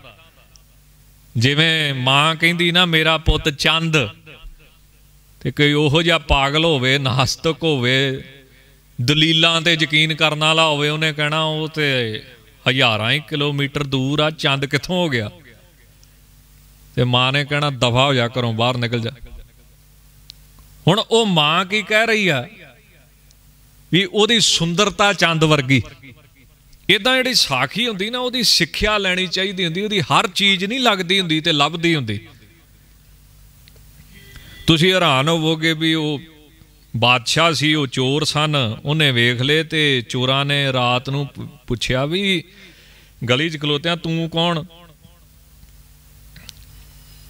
ਉਹ ਰਾਜਾ ਕਹਿੰਦਾ ਵੀ ਤੁਹਾਡਾ ਭਰਾ। ਰਾਜੇ ਬੜੇ ਤਿੱਖੇ ਹੁੰਦੇ ਆ। ਬੁੱਧੀ ਬੜੀ ਸੂਖਸ਼ਮ ਹੁੰਦੀ ਆ। ਉਹ ਕਹਿੰਦੇ, ਅਸੀਂ ਚੋਰ। ਤੇ ਰਾਜਾ ਕਹਿੰਦਾ, ਮੈਂ ਵੀ ਚੋਰ। ਹੁਣ ਉਹਨੇ ਆਪਣੀ ਪਛਾਣ ਥੋੜੀ ਕਰਾਣੀ ਸੀ। ਉਹ ਚੋਰ ਕਹਿਣ ਲੱਗੇ ਵੀ ਇਹ ਸਾਖੀ ਦਾ ਭਾਵ ਇਹ ਆ ਵੀ ਰੱਬ ਹਰ ਕੰਮ 'ਚ ਸਾਡੇ ਨਾਲ ਹੁੰਦਾ ਹੈ। ਮਾੜਾ ਕਰੋ, ਚੰਗਾ ਕਰੋ, ਉਹਦਾ ਫਲ ਸਾਨੂੰ ਮਿਲਣਾ, ਹਾਜ਼ਰ ਹੋ ਹਰ ਕੰਮ 'ਚ। ਜਿਵੇਂ ਬਲਬ ਜਗਦਾ ਪਿਆ ਨਾ, ਲਾਈਟ ਜਗਦੀ ਪਈ, ਉਹਦੇ ਥੱਲੇ ਭਾਵੇਂ ਜੂਆ ਖੇਡ ਲਓ। ਉਹਦੇ ਥੱਲੇ ਕੋਈ ਗੁਰਮੁਖ ਬਾਣੀ ਪੜ੍ਹੇ। ਲਾਈਟ ਜਗਦੀ ਪਈ ਆ, ਜਿਵੇਂ ਸੂਰਜ ਦੀ ਰੌਸ਼ਨੀ। ਉਹਦੇ ਥੱਲੇ ਭਗਤੀ ਕਰ ਲਾ, ਉਹਦੇ ਥੱਲੇ ਮਾੜੇ ਕੰਮ ਕਰ ਲਾ, ਲਾਈਟ ਤੇ ਉੱਥੇ ਹੀ ਰਹਿਣੀ ਹੈ। ਰੱਬ ਹਰ ਕੰਮ 'ਚ ਹੀ ਹਾਜ਼ਰ ਰਹਿਣਾ ਵਾ। ਪਰ ਕੀਤੇ ਹੋਏ ਕੰਮ ਦਾ ਫਲ ਸਾਨੂੰ ਭੁਗਤਣਾ ਪੈਣਾ। ਉਹ ਪੰਜ ਚੋਰ ਛੇਵਾਂ ਰਾਜਾ। ਉਹ ਕਹਿੰਦੇ ਜੀ ਵੀ ਚੋਰੀ ਕਰਨ ਤੋਂ ਪਹਿਲਾਂ ਫਿਰ ਆਪਾਂ ਇੱਕ ਦੂਜੇ ਨੂੰ ਗੁਣ ਦਸੀਏ ਆਪਣੇ। ਤਾਂ ਕਿ ਕੋਈ ਲੀਡਰ ਚੁਣ ਲਈਏ। ਜਿਹੜਾ ਸਭ ਤੋਂ ਵੱਡਾ ਚੋਰ ਹੋਵੇ, ਉਹ ਲੀਡਰ ਹੁੰਦਾ ਨਾ ਫਿਰ। ਇੱਕ ਲੀਡਰ ਚੁਣ ਲੈਣਾ ਚਾਹੀਦਾ, ਨੇਤਾ ਚੁਣ ਲੈਣਾ ਚਾਹੀਦਾ। ਹੋਇਆ ਕਿ? ਇੱਕ ਨੇ ਆਖਿਆ ਜੀ, ਮੈਂ ਰਾਤ ਦੇ ਹਨੇਰੇ 'ਚ ਜਿਹਨੂੰ ਵੇਖ ਲਾ ਨਾ, ਸ਼ਕਲ ਨਹੀਂ ਭੁੱਲਦਾ ਉਹਦੀ। ਕਹਿੰਦੇ ਵੀ ਵਾਹ ਬਈ ਵਾਹ, ਕਿਆ ਗੋਣਾ ਇਹਦੇ ਵਿੱਚ। ਦੂਜਾ ਕਹਿੰਦਾ ਜੀ ਵੀ ਮੈਂ ਪੌੜੀ ਦੀ ਲੋੜ ਨਹੀਂ, ਰੱਸੀ ਦੀ ਲੋੜ ਨਹੀਂ, ਜਿੱਡੀ ਮਰਜ਼ੀ ਕੰਧ ਉੱਚੀ ਹੋਵੇ ਚੜ ਜਾਣਾ ਤੇ ਚੜਾ ਵੀ ਲੈਣਾ ਨਾਲ ਦਿਆਂ ਤੀਜੇ ਨੇ ਵੀ ਕੁਝ ਇਦਾਂ ਦੀ ਖਾਸੀਅਤ ਦੱਸੀ ਆਪਣੀ ਵੀ ਹੁਣ ਸਾਖੀ ਤੇ ਬੜੀ ਲੰਬੀ ਹੈ ਇੱਕ ਵਾਰੀ ਨੈਟ ਤੇ ਵੀ ਦਾਸ ਨੇ ਪਾਈ ਸੀ। ਉਹ ਤੀਜੇ ਨੇ ਆਖਿਆ ਵੀ ਮੈਂ ਨਾ ਕੁੱਤੇ ਦੀ ਭਾਸ਼ਾ ਸਮਝਦਾ। ਇਹ ਕੁੱਤਾ ਜੋ ਬੋਲੇ ਮੈਨੂੰ ਸਮਝ ਆਉਂਦੀ ਹੈ ਉਹ ਇੱਕ ਚੋਰ ਕਹਿਣ ਲੱਗਾ ਵੀ ਤੂੰ ਤਾਂ ਬਹੁਤਾ ਹੀ ਗੁਣੀ ਬੰਦਾ ਬਈ। ਕਿਉਂ ਸਾਡੇ ਕੰਮ 'ਚ ਇਹ ਕੁੱਤੇ ਬਹੁਤ ਸਿਆਪਾ ਪਾਉਂਦੇ ਆ। ਚੌਥਾ ਕਹਿਣ ਲੱਗਾ ਵੀ ਮੈਂ ਨਾ ਧਰਤੀ 'ਚ ਦੱਬਿਆ ਹੋਇਆ ਧਨ। ਉਹ ਦੱਸ ਦਿਨਾ ਵਾਂ ਵੀ ਇੱਥੇ ਕਿੰਨਾ ਧਨ ਦੱਬਿਆ ਧਰਤੀ 'ਚ। ਇਹ ਮੇਰੇ 'ਚ ਗੁਣ ਇਦਾਂ ਸਾਰਿਆਂ ਨੇ, ਇੱਕ ਨੇ ਆਖਿਆ ਵੀ ਜਿੱਡੀ ਮਰਜ਼ੀ ਕੰਧ ਹੋਵੇ, ਮੈਂ ਸੰਨ ਲਾ ਲੈਣਾ ਵਿੱਚ। ਸਾਰਿਆਂ ਨੇ ਆਪੋ ਆਪਣੇ ਗੁਣ ਦੱਸੇ। ਉਹ ਚੋਰ ਰਾਜੇ ਚੋ, ਰਾਜੇ ਨੂੰ ਪੁੱਛਦੇ ਆ ਵੀ ਤੇਰੇ 'ਚ ਕੀ ਗੁਣ ਆ? ਉਹ ਕਹਿੰਦਾ, ਜਿਹੜਾ ਗੁਣ ਮੇਰੇ 'ਚ, ਉਹ ਤੁਹਾਡੇ 'ਚ ਹੈ ਹੀ ਨਹੀਂ। ਉਹ ਕਹਿੰਦੇ, ਕੀ ਕਹਿੰਦਾ, ਮੇਰੀ ਦਾੜੀ ਹਿੱਲੇ ਤੇ ਸਜ਼ਾ ਮਾਫ ਹੋ ਜਾਂਦੀ ਹੈ। ਉਹ ਕਹਿੰਦੇ ਵੀ ਸਾਨੂੰ ਇਸ ਕੰਮ ਦੀ ਬੜੀ ਲੋੜ ਆ। ਅਸੀਂ ਫੜੇ ਜਾਂਦੇ ਆ ਤੇ ਫਿਰ ਫਾਂਸੀ ਦੇ ਟੰਗ ਦਿੰਦੇ ਆ ਤੇ ਤੂੰ ਸਾਡਾ ਲੀਡਰ। ਕਿੱਥੇ ਜਾਣਾ ਕਹਿੰਦੇ ਰਾਜੇ ਦੇ ਮਹਿਲਾਂ 'ਚ? ਚਲੋ, ਉਥੇ ਕੁੱਤਾ ਭੌਂਕਿਆ ਵੀ ਤੁਹਾਡੇ ਨਾਲ ਇੱਕ ਰਾਜਾ ਵਾ। ਉਹ ਜਿੰਨੇ ਕੁੱਤੇ ਦੀ ਭਾਸ਼ਾ ਜਿਹਨੂੰ ਆਉਂਦੀ ਸੀ ਉਹ ਸਮਝ ਗਿਆ। ਉਹਨੇ ਆਖਿਆ ਵੀ ਕੁੱਤਾ ਕਹਿੰਦਾ ਵੀ ਤੁਹਾਡੇ ਨਾਲ ਇੱਕ ਬਾਦਸ਼ਾਹ ਵਾ। ਪਰ ਕਿਸੇ ਨੇ ਉਹਦੀ ਗੱਲ ਤੇ ਯਕੀਨ ਨਹੀਂ ਕੀਤਾ। ਇਦਾਂ ਕਈ ਵਾਰੀ ਸਾਡੇ ਨਾਲ ਵੀ ਇਦਾਂ ਹੀ ਹੁੰਦੀ ਆ ਵੀ ਅਸੀਂ, ਸਾਨੂੰ ਸਭ ਪਤਾ ਹੁੰਦਾ ਵਾ, ਸਮਝ ਆਉਂਦੀ ਆ, ਸਿਆਣੇ ਬੰਦੇ ਸਮਝਾਉਂਦੇ ਵੀ ਆ, ਤਾਂ ਵੀ ਕਿਹੜਾ ਆਪਾਂ ਆਖੇ ਲੱਗਦੇ ਆ। ਹਾਥ ਦੀਪ ਕੂਏ ਪਰੇ ਵਾਲੀ ਗੱਲ ਹੁੰਦੀ ਹੈ ਉਹ ਚੋਰੀ ਕਰਨ ਚਲੇ ਗਏ, ਚਲੋ ਚੋਰੀ ਕੀਤੀ, ਮਾਲ ਮੱਤਾ ਸਾਂਭਿਆ। ਰਾਜੇ ਨੇ ਅੱਖ ਬਚਾਈ, ਉਹ ਮਹਿਲਾਂ ਚ ਆ ਗਿਆ, ਇਹ ਚੋਰੀ ਕਰਕੇ ਆਪੋ ਆਪਣੇ ਟਿਕਾਣੇ ਤੇ ਰਾਜੇ ਨੇ ਟਿਕਾਣੇ ਤੇ ਦੇਖੇ ਸੀ। ਅਗਲੇ ਦਿਨ ਮੰਤਰੀ ਨੂੰ ਆਖਿਆ ਵੀ ਆ ਫਲਾਨੀ ਫਲਾਨੀ ਜਗ੍ਹਾ ਦੇ ਚੋਰ ਆ, ਲੈ ਆ ਸਾਰੇ। ਉਹ ਸਾਰੇ ਲੈ ਆਂਦੇ ਜੀ। ਉਹ ਜਿਹੜਾ ਰਾਤ ਨੂੰ ਸ਼ਕਲ ਨਹੀਂ ਸੀ ਨਾ ਭੁੱਲਦਾ, ਉਹ ਕਹਿੰਦਾ, ਆ ਤੇ ਉਹ ਹੀ ਆ ਜਿਹੜਾ ਛੇਵਾਂ ਚੋਰ ਸੀ। ਰਾਜੇ ਨੇ ਆਖਿਆ, ਤੁਸੀਂ ਚੋਰੀ ਕੀਤੀ? ਕਹਿੰਦੇ, ਜੀ, ਜਨਾਬ ਕੀਤੀ ਹੈ। ਅੰਨਦਾਤਾ ਕੀਤੀ ਆ। ਕਹਿੰਦਾ ਫਿਰ ਸਜ਼ਾ। ਕਹਿੰਦੇ ਜੀ, ਅਸੀਂ ਪੰਜਾਂ ਨੇ ਆਪੋ ਆਪਣਾ ਪਾਠ ਅਦਾ ਕੀਤਾ ਵਾ ਆਪ ਦਾ ਗੁਣ ਨਿਭਾਇਆ ਵਾ। ਤੇ ਉਹ ਰਾਜੇ ਆਪਣਾ ਰਾਜਾ ਕਹਿੰਦਾ ਵੀ ਹੋਰ ਵੀ ਕੋਈ ਨਾਲ ਸੀ ਤੁਹਾਡੇ? ਕਹਿੰਦੇ ਤੂੰ। ਹੁਣ ਤੁਸੀਂ ਆਪ ਦਾ ਗੁਣ ਨਿਭਾਓ। ਅਸੀਂ ਤੇ ਪੰਜਾਂ ਨੇ ਆਪਣਾ ਨਿਭਾਤਾ ਰਾਤੀ, ਇੱਕ ਨੇ ਕੁੱਤੇ ਦੀ ਭਾਸ਼ਾ ਸਮਝ ਲਈ, ਦੂਜਾ ਕੰਨ ਤੇ ਚੜ ਗਿਆ। ਤੀਜੇ ਨੇ ਦੱਸਤਾ ਵੀ ਇੱਥੇ ਇੰਨੇ ਪੈਸੇ ਪਏ ਆ। ਚੌਥੇ ਦੇ ਜਿਹੜਾ ਸ਼ਕਲ ਨਹੀਂ ਸੀ ਭੁੱਲਦਾ। ਵੀ ਹੁਣ ਤੇਰੀ ਵਾਰੀ ਆ। ਉਹ ਕਹਿੰਦਾ ਗਾਂ ਤੋਂ ਚੋਰੀ ਤਾਂ ਨਹੀਂ ਕਰਦੇ। ਉਹ ਕਹਿੰਦੇ, ਜੀ ਨਹੀਂ। ਉਹਨੇ ਫਿਰ ਦਾੜੀ ਹਿਲਾਈ, ਮੈਨੇ ਬੋਲਿਆ, ਜਦੋਂ ਬੋਲਿਆ ਫਿਰ ਦਾੜਾ ਹਿਲਦਾ ਨਾ, ਉਹ ਬੋਲਿਆ ਤੇ ਗੁਨਾਹ ਮਾਫ ਹੋਏ। ਹੁਣ ਇਹ ਸਾਖੀ ਬੜੀ ਸੋਹਣੀ ਆ ਤੇ ਆਪਣੇ ਮਲਾਨਾ ਰੂਮੀ ਸਾਹਿਬ ਨੇ ਲਿਖੀ ਆ। ਜਿਹੜੇ ਸੂਫੀ ਫਕੀਰ ਹੋਏ ਨਾ, ਬ੍ਰਹਮ ਗਿਆਨੀ, ਵਿਦਵਾਨ ਵੀ ਤੇ ਫਕੀਰ ਵੀ, ਸੰਤ ਵੀ। ਦੋ ਗੱਲਾਂ ਨਹੀਂ ਹੁੰਦੀਆਂ। ਜੇ 90% ਵਿਦਵਾਨ ਕੱਲਾ ਵਿਦਵਾਨ ਹੀ ਹੁੰਦਾ ਹੈ ਤੇ ਨਾਮ ਜਪਣ ਵਾਲਾ ਕੱਲਾ ਨਾਮ ਜਪਣ ਵਾਲਾ ਹੀ ਹੁੰਦਾ ਹੈ। ਉਹ ਫਿਰ ਸਾਖੀ ਦਾ ਨਿਚੋੜ ਕੱਢਦੇ ਆ, ਇਹ ਰੱਬ ਤੇਰੇ ਹਰ ਕੰਮ 'ਚ ਤੇਰੇ ਨਾਲ ਤੇ ਤੇਰੇ ਅੰਦਰ ਸੋਚ ਵੀ ਆਉਂਦੀ ਆ, ਮਾੜਾ ਕੰਮ ਕਰ ਲੱਗਿਆ ਵੀ ਨਾ ਕਰ। ਤੂੰ ਫਿਰ ਉਹਨੂੰ ਅੱਖੋਂ ਓਲੇ ਕਰਕੇ, ਅਣਗੌਲਿਆ ਕਰਕੇ ਕਰਦਾ ਵਾ। ਮਾੜਾ ਕਰ, ਚੰਗਾ ਕਰ। ਉਹ ਹੈ ਤੇਰੇ ਅੰਦਰ, ਹਰ ਕੰਮ ਨੂੰ ਦੇਖਦਾ ਹੈ ਤੇ ਤੈਨੂੰ ਤੇਰੇ ਕਰਮ ਦੀ ਸਜ਼ਾ ਮਿਲੇਗੀ, ਕਿਉਂਕਿ ਹਰ ਕੰਮ ਦੇ ਵਿੱਚ ਉਹ ਹਾਜ਼ਰ ਹੁੰਦਾ ਹੈ। ਇਸ ਕਰਕੇ ਦਸਵੇਂ ਪਾਤਸ਼ਾਹ ਕੀ ਕਹਿੰਦੇ ਆ? ਜਲੇ ਹੈ, ਥਲੇ ਹੈ। ਜਾਲ ਮੈਨੇ ਨਮੀ ਜਿੱਥੇ ਰੱਬ ਭਾਵਨਾ ਵਾਲਿਆਂ ਦੇ ਵਿੱਚ ਬੈਠਾ ਵਾ ਉੱਥੇ ਥਲ ਭਾਵੇਂ ਖੁਸ਼ਕ ਨੇ ਪਾਪੀ ਨੇ ਚੋਰ ਨੇ ਬੈਠਾ ਤੇ ਉਹਨਾਂ ਦੇ ਅੰਦਰ ਵੀ ਹੈ ਤਾਂ ਉਹਨਾਂ ਦੇ ਵਿੱਚ ਵੀ ਉਹਦਾ ਨਿਵਾਸ ਮਹਾਰਾਜ ਦੱਸਦੇ ਹਨ। ਅਪੀਤ ਹੈ ਅਪੇ ਹੈ। ਅਭੀਤ ਦਾ ਅਰਥ ਮਹਾਂਪੁਰਖਾਂ ਨੇ ਬੜਾ ਸੋਹਣਾ ਕੀਤਾ। ਸਿੰਧੀ ਭਾਸ਼ਾ ਵਿੱਚ ਭੀਤ ਨੂੰ ਕਹਿੰਦੇ ਚੋਗਾ। ਤੇ ਚੋਗੇ ਦਾ ਅਰਥ ਹੋਇਆ ਭਾਵ ਅਰਥ ਕੀ ਹੋਇਆ? ਭੋਜਨ ਖਾਣਾ ਪੀਣਾ। ਜਿਵੇਂ ਸਾਡੇ ਸਰੀਰ ਖਾਣ ਪੀਣ ਤੇ ਟਿਕੇ ਹੋਏ ਨੇ, ਅੰਨ ਅੰਨ ਉੱਤੇ ਪ੍ਰਾਣ ਖੜੇ ਨੇ। ਤੇ ਉਪਨਿਸ਼ਦਾਂ ਦੇ ਵਿੱਚ ਕਿੱਡਾ ਸੋਹਣਾ ਲਿਖਿਆ। ਅੰਨ ਹੀ ਬ੍ਰਹਮ। ਅੰਨ ਦੇ ਵਿੱਚ ਬ੍ਰਹਮ ਭਾਵ ਲਿਆਓ।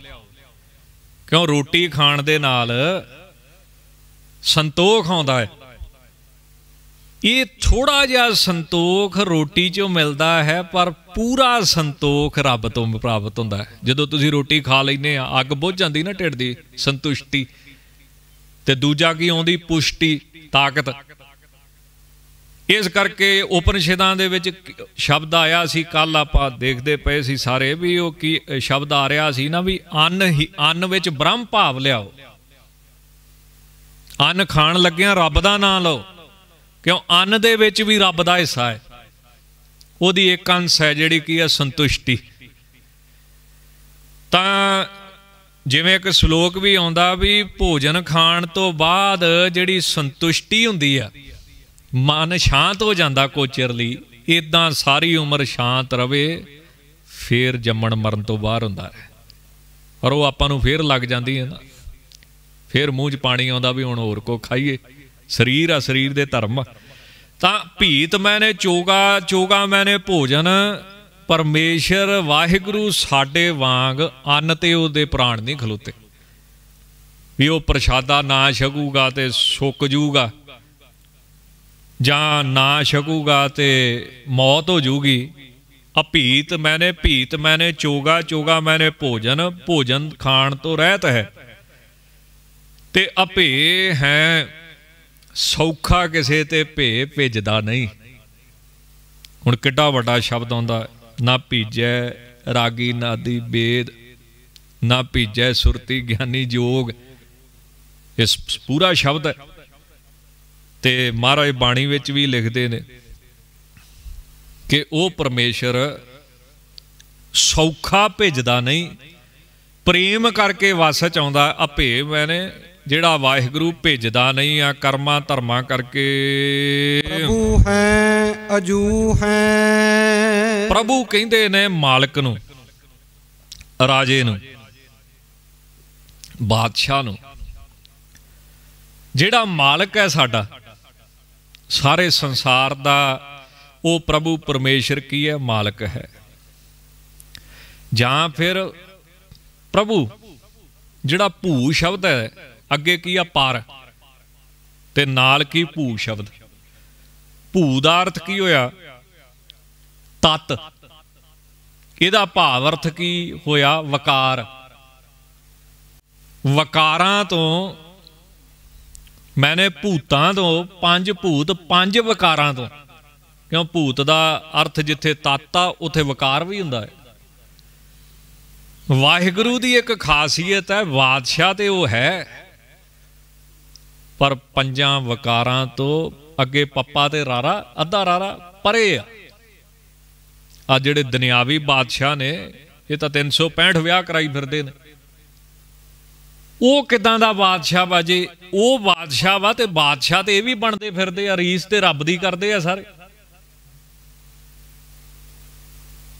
ਪਰ ਉਹ ਕਿਦਾਂ ਦਾ ਬਾਦਸ਼ਾਹ ਵਾ ਜਿਹੜਾ ਭੂ ਮੈਨੇ ਭੂਤ ਤੇ ਭੂਤ ਦਾ ਅਰਥ ਕੀ ਹੁੰਦਾ? ਜਿੱਥੇ ਤਤ ਹੁੰਦਾ, ਉੱਥੇ ਵਿਕਾਰ ਵੀ। ਪੰਜ ਵਿਕਾਰ ਮੰਨੇ ਨਾ, ਕਾਮ, ਕ੍ਰੋਧ, ਲੋਭ, ਅਹੰਕਾਰ।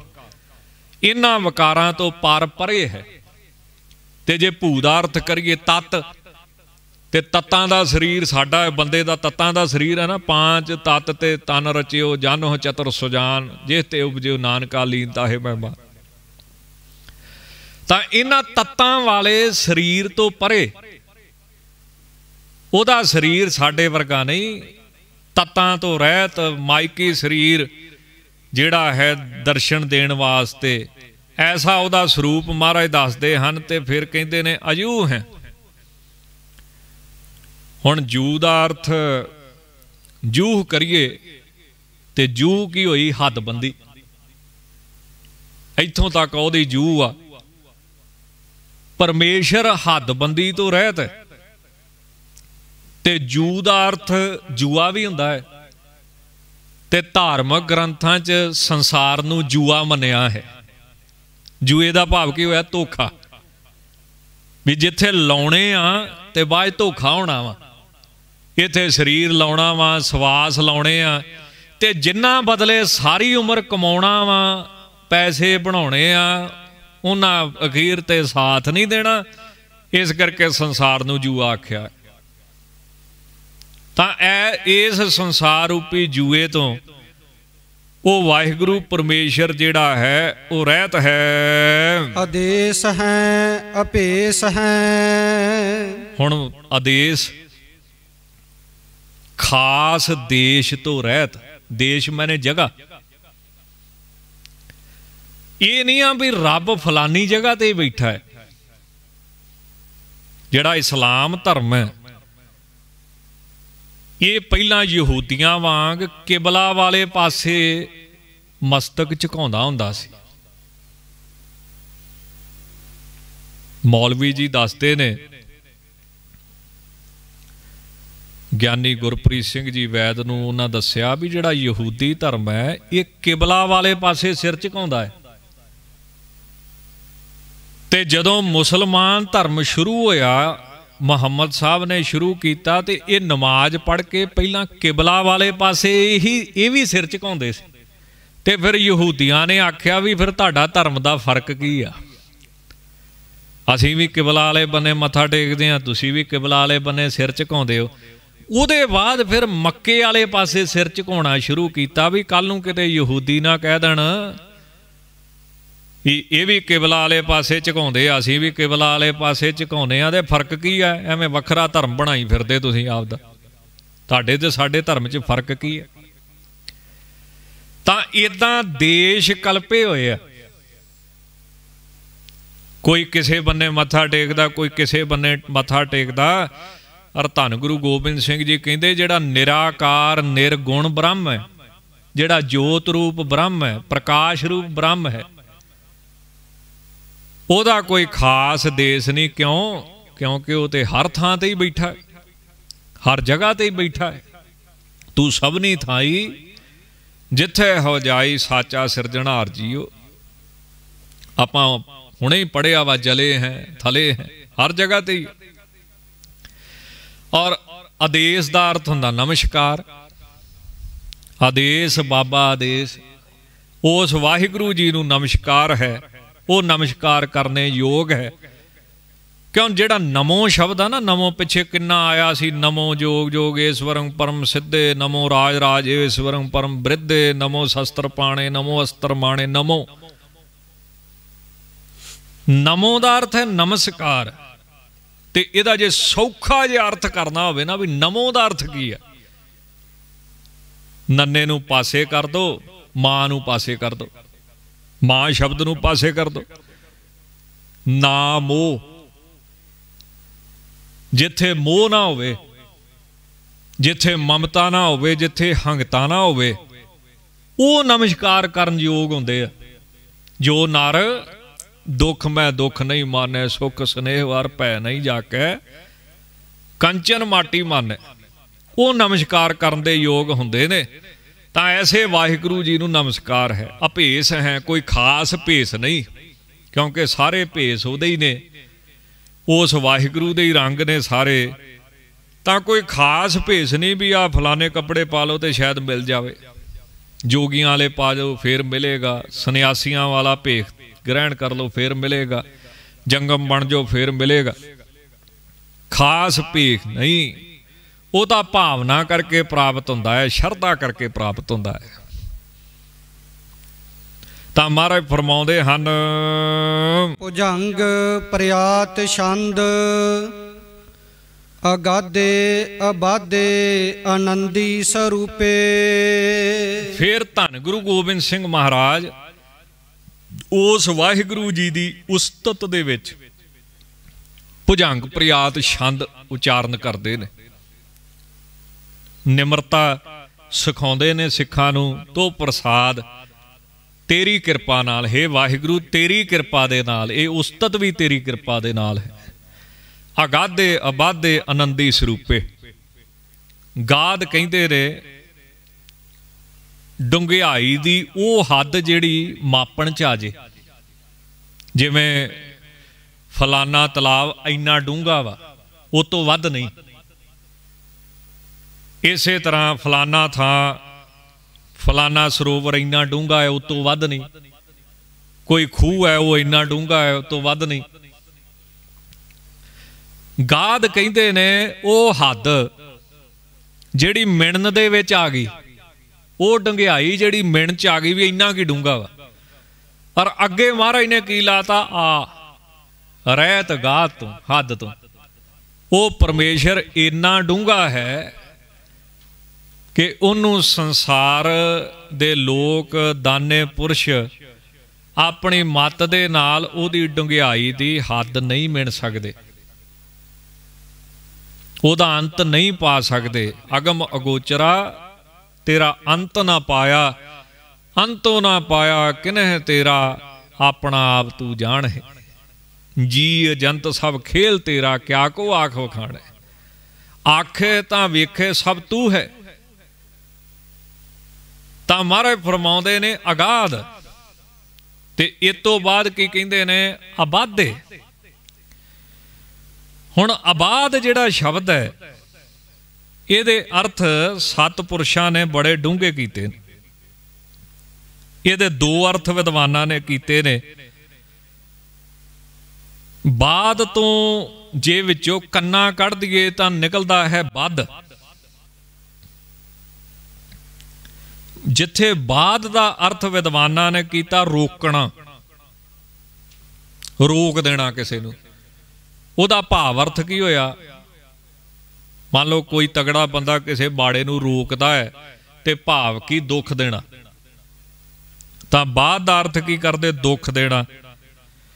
ਇਸੇ ਤਰ੍ਹਾਂ ਵੱਧ ਤੇ ਬਾਦ ਜੇ ਵੱਧ ਧਾਤੂ ਮੰਨੀਏ ਤਾਂ ਵੱਧ ਦਾ ਅਰਥ ਕੀ ਹੋਇਆ? ਨਾਸ ਕਰਨਾ। ਤੇ ਬਾਦ ਧਾਤੂ ਮੰਨੀਏ ਕੀ ਹੋਇਆ? ਦੁੱਖ। ਦੁੱਖ ਦੇਣਾ। ਤਾਂ ਵਿਦਵਾਨ ਪੁਰਸ਼ ਫਿਰ ਅਰਥ ਕਰਦੇ ਨੇ ਕਿ हे ਅਕਾਲ ਪੁਰਖ, ਤੂੰ ਗਾਦੇ ਮੈਨੇ ਥਾ ਤੋਂ ਹਾਥ ਤੋਂ ਰਹਿਤ ਹੈ ਤੇ ਤੇਰਾ ਕਦੇ ਵਾਦੇ ਨਾਸ਼ ਨਹੀਂ ਹੁੰਦਾ। ਜਾਂ ਫਿਰ ਵਾਦੇ ਕੋਈ ਤੈਨੂੰ ਦੁੱਖ ਨਹੀਂ ਦੇ ਸਕਦਾ। ਕੋਈ ਵੀ ਦੁੱਖ ਤੇਰੇ ਤੇ ਲਾਗੂ ਨਹੀਂ ਹੁੰਦਾ। ਆਨੰਦੀ ਸਰੂਪੇ। हे ਅਕਾਲ ਪੁਰਖ ਜੀ ਆਨੰਦੀ ਮੈਨੇ ਆਨੰਦ ਵਾਲਾ ਖੁਸ਼ ਪ੍ਰਸੰਤਾ ਵਾਲਾ। ਤੂੰ ਸਦਾ ਹੀ ਆਨੰਦ ਸਰੂਪ ਹੈ। ਬ੍ਰਹਮ ਗਿਆਨੀਆਂ ਦਾ ਵੀ ਵੇਦਾਂ ਦੇ ਵਿੱਚ ਸ਼ੁਰਤੀਆਂ ਦੇ ਵਿੱਚ ਲਕਸ਼ਣ ਆਉਂਦਾ ਨਾ ਵੀ ਬ੍ਰਹਮ ਗਿਆਨੀ ਕੌਣ ਤਾਂ ਕਹਿੰਦੇ ਜੀ ਵੀ ਬ੍ਰਹਮ ਗਿਆਨੀ ਉਹ ਆ ਵੀ ਜਿਹੜਾ ਦੁੱਖ ਤੋਂ ਪਰੇ ਆ। ਤਰਤੀ ਸ਼ੋਕ, ਆਤਮ ਬਿਤ। ਆਤਮ ਬੇਤਾ ਸ਼ੋਕ ਨੂੰ ਤਰ ਜਾਂਦਾ ਵਾ। ਪਰਮੇਸ਼ਰ ਕਿਦਾਂ ਦਾ ਹੈ? ਆਨੰਦ ਸਰੂਪ। ਜਿਹਦੇ ਵਿੱਚ ਦੁੱਖ ਲੇਸ਼ ਮਾਤਰ ਵੀ ਨਹੀਂ ਹੈ। ਜਿਹਦੀ ਪ੍ਰਾਪਤੀ ਤੋਂ ਬਾਅਦ ਜਿਹੜੇ ਗੁਰਮੁਖ ਨੇ, ਨਾਮ ਜਪਣ ਵਾਲੇ ਨੇ, ਉਹ ਵੀ ਸਰੀਰਕ ਦੁੱਖ, ਮਾਨਸਿਕ ਦੁੱਖ ਦਾ ਅਸਰ ਉਹਨਾਂ ਤੇ ਪੈਂਦਾ ਨਹੀਂ। ਹੁਣ ਜਿਵੇਂ ਧੰਨ ਗੁਰੂ ਅਰਜਨ ਦੇਵ ਸਾਹਿਬ ਮਹਾਰਾਜ ਤਤੀ ਲੋਹ ਤੇ ਬੈਠੇ। ਪਰ ਉਹਨਾਂ ਦੇ ਸ਼ਬਦ ਕਿਦਾਂ ਦੇ ਨੇ? ਤੇਰਾ ਕੀਆ ਮੀਠਾ ਲੱਗੇ। ਹੁਣ ਕੋਈ ਕਿਸੇ ਨੂੰ ਦੁੱਖ ਦਵੇ ਤੇ ਇਹ ਤਾਂ ਤੇ ਅਜੇ ਤੱਕ ਨਹੀਂ ਕਿਸੇ ਨੇ ਕਿਹਾ ਵੀ ਬਹੁਤ ਮਿੱਠਾ ਲੱਗਦਾ ਪਿਆ। ਇਹ ਪੰਜਵੇਂ ਪਾਤਸ਼ਾਹ ਨਹੀਂ ਕਿਹਾ ਵਾ। ਜਾਂ ਨੌਵੇਂ ਪਾਤਸ਼ਾਹ ਨੇ ਕਿਹਾ ਵਾ। ਜਾਂ ਸ਼ਹੀਦਾਂ ਨੇ ਕਿਹਾ ਹੈ। ਨਨਕਾਣਾ ਸਾਹਿਬ ਦਾ 100 ਸਾਲਾ ਸ਼ਹੀਦੀ ਸਾਕਾ। ਕੱਲ ਨੂੰ ਸੰਗਤਾਂ ਮਨਾ ਰਹੀਆਂ ਨੇ। ਕਿੱਡੀ ਵੱਡੀ ਕੁਰਬਾਨੀ ਕੀਤੀ ਭਾਈ ਲక్ష్మణ ਸਿੰਘ ਜੀ ਨੇ।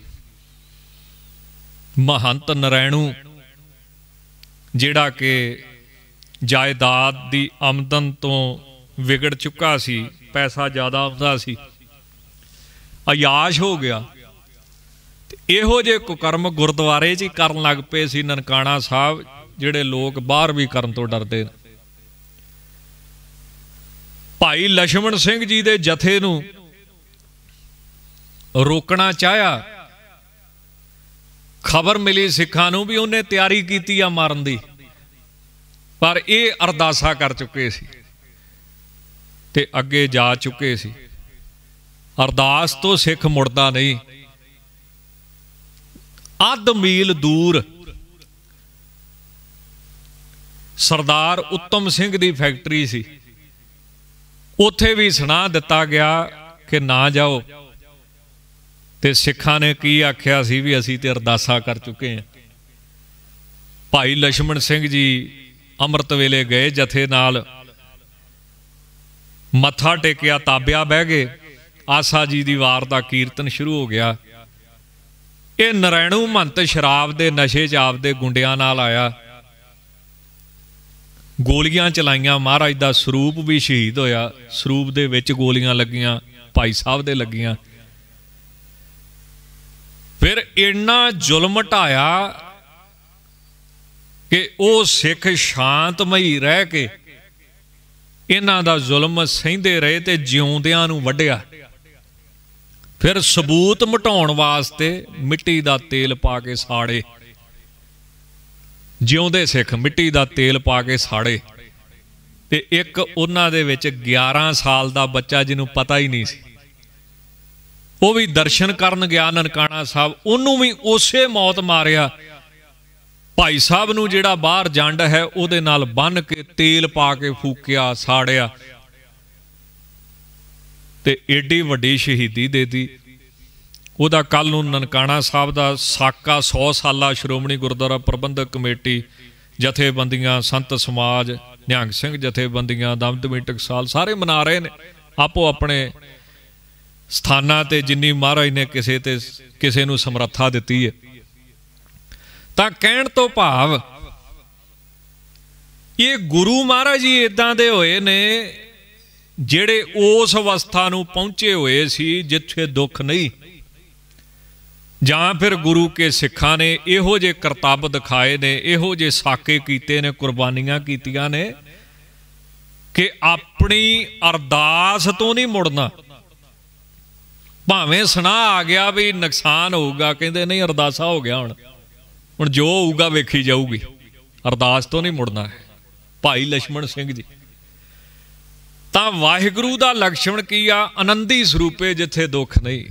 ਦੁੱਖ ਦਾ ਅਸਰ ਹੀ ਨਹੀਂ, ਲੇਸ਼ ਮਾਤਰ ਵੀ ਨਹੀਂ ਤੇ ਸੰਤਾਂ ਦਾ ਲਕਸ਼ਣ ਵੀ ਇਹ ਹੀ ਆ ਇਹ ਤਰਤੀ ਸ਼ੋਕ, ਆਤਮ ਬਿਤ ਕਿੰਨੀ ਸ਼ਰਧਾ ਹੋਗੀ ਮਹਾਰਾਜ ਉੱਤੇ। ਕਿੰਨੀ ਭਾਵਨਾ ਹੋਗੀ ਗੁਰੂ ਸਾਹਿਬ ਉੱਤੇ। ਤੇ ਗੱਲ ਤੇ ਫਿਰ ਸ਼ਰਧਾ ਦੀ ਆ ਬਈ। ਸ਼ਰਧਾ ਦਾ ਮੁੱਲ ਆ। ਅੰਮ੍ਰਿਤ ਉਹ ਹੀ ਆ ਜਿਹੜਾ ਬਾਬਾ ਦੀਪ ਸਿੰਘ ਜੀ ਨੇ ਛਕਿਆ ਸੀ। ਪਰ ਅੱਜ ਉਹ ਅੰਮ੍ਰਿਤ ਬਾਬਾ ਦੀਪ ਸਿੰਘ ਕਿਉਂ ਨਹੀਂ ਬਣਾ ਪਾ ਰਿਹਾ? ਕਿਉਂ? ਅੰਮ੍ਰਿਤ ਉਹੀ ਆ, ਪਰ ਛਕਣ ਵਾਲੇ ਦੀ ਸ਼ਰਧਾ ਘਟ ਗਈ। ਅੰਮ੍ਰਿਤ ਉਹੀ ਆ ਜਿਹੜਾ ਭਾਈ ਤਾਰੂ ਸਿੰਘ ਨੇ ਛਕਿਆ ਸੀ ਤੇ ਕੈਂਚੀ ਦੀ ਲਵਾਈ ਆਪਣੇ ਕੇਸਾਂ ਨੂੰ। ਖੋਪਰਾ ਲੈ ਗਿਆ ਭਾਈ ਮਨੀ ਸਿੰਘ ਜੀ ਨੇ, ਬੰਦ-ਬੰਦ ਕਟਾ ਲਿਆ ਵੀ ਨਹੀਂ ਕੇਸ ਕਟਾਉਣੇ। ਬੰਦ-ਬੰਦ ਕਟਣਾ ਕੱਟ ਦੋ, ਸਰੀਰ ਦਾ ਕੇਸ ਨਹੀਂ ਕਟਾਉਣੇ। ਅੰਮ੍ਰਿਤ ਤੇ ਉਹੋ ਹੀ ਆ। ਤੇ ਬਾਣੀ ਵੀ ਉਹੀ ਹੈ। ਇਹ ਨਾ ਕਹੋ ਵੀ ਬਾਣੀ 'ਚ ਸ਼ਕਤੀ ਘਟ ਗਈ, ਅੰਮ੍ਰਿਤ ਸ਼ਕਤੀ ਘਟ ਗਈ, ਬਾਣੀ ਵੀ ਉਹੀ ਹੈ, ਅੰਮ੍ਰਿਤ ਵੀ ਉਹੀ ਹੈ, ਸਿੱਖ ਦੀ ਭਾਵਨਾ ਘਟ ਗਈ ਹੈ। ਸਿੱਖ ਦੀ ਸ਼ਰਧਾ ਘਟ ਗਈ ਹੈ। ਹੁਣ ਉਦਾਹਰਣ ਦੇ ਤੌਰ ਤੇ ਪੰਥ ਰਤਨ ਬ੍ਰਹਮ ਗਿਆਨੀ ਸੰਤ ਗਿਆਨੀ ਸੁੰਦਰ ਸਿੰਘ ਜੀ ਖਾਲਸਾ ਪਿੰਡਰਾਂ ਵਾਲਿਆਂ ਜਦੋਂ ਅੰਮ੍ਰਿਤ ਛਕਿਆ ਕੇਸਗੜ ਸਾਹਿਬ ਤਖਤ ਸਾਹਿਬ ਤੇ, ਤਾਂ ਉਹ ਮਹਾਂਪੁਰਖ ਲਿਖਦੇ ਨੇ ਵੱਡੇ ਵੀ ਉਹਨਾਂ ਦੇ ਗੁਰਮੰਤਰ ਸਵਾਸ ਸਵਾਸ ਚੱਲ ਪਿਆ ਸੀ। ਗੁਰਮੁਖ ਰੋਮ ਰੋਮ ਹਰਤਿਆ ਦੂਜਿਆਂ ਨੇ ਵੀ ਛਕਿਆ ਹੋਵੇਗਾ। ਜਿਨ੍ਹਾਂ ਦੂਜਿਆਂ ਨੇ ਨਾਲ ਛਕਿਆ ਸੀ, ਉਹਨਾਂ ਦੇ ਚੱਲਿਆ ਸੀ। ਸੰਤਾਂ ਦੇ ਕਿਉਂ ਚੱਲਿਆ? ਅਮਰ ਤੇ ਬਰਾਬਰ ਹੀ ਛਕਿਆ ਸਾਰਿਆਂ ਨੇ, ਪਰ ਸੰਤਾਂ ਵਰਗੀ ਭਾਵਨਾ ਕੌਣ ਲਿਆਊਗਾ? ਸੰਤਾਂ ਵਰਗਾ ਯਕੀਨ ਕਿਉਂ ਲਿਆਊਗਾ? ਤੇ ਆਪਾਂ ਕੱਲ ਪੜ੍ਹਦੇ ਪਏ ਸੀ ਨਾ, ਵਿਗਿਆਨ ਮੈਂ ਕੋਸ਼। ਵਿਗਿਆਨ ਮੈਨੇ ਬੁੱਧੀ ਤੇ ਬੁੱਧੀ ਦੀ ਨਿਸ਼ਚਿਤ ਬਿਰਤੀ। ਸ਼ਰਧਾ ਕਿਨੂੰ ਕਹਿੰਦੇ ਆ, ਵਿਸ਼ਵਾਸ ਕਿਨੂੰ ਕਹਿੰਦੇ ਆ?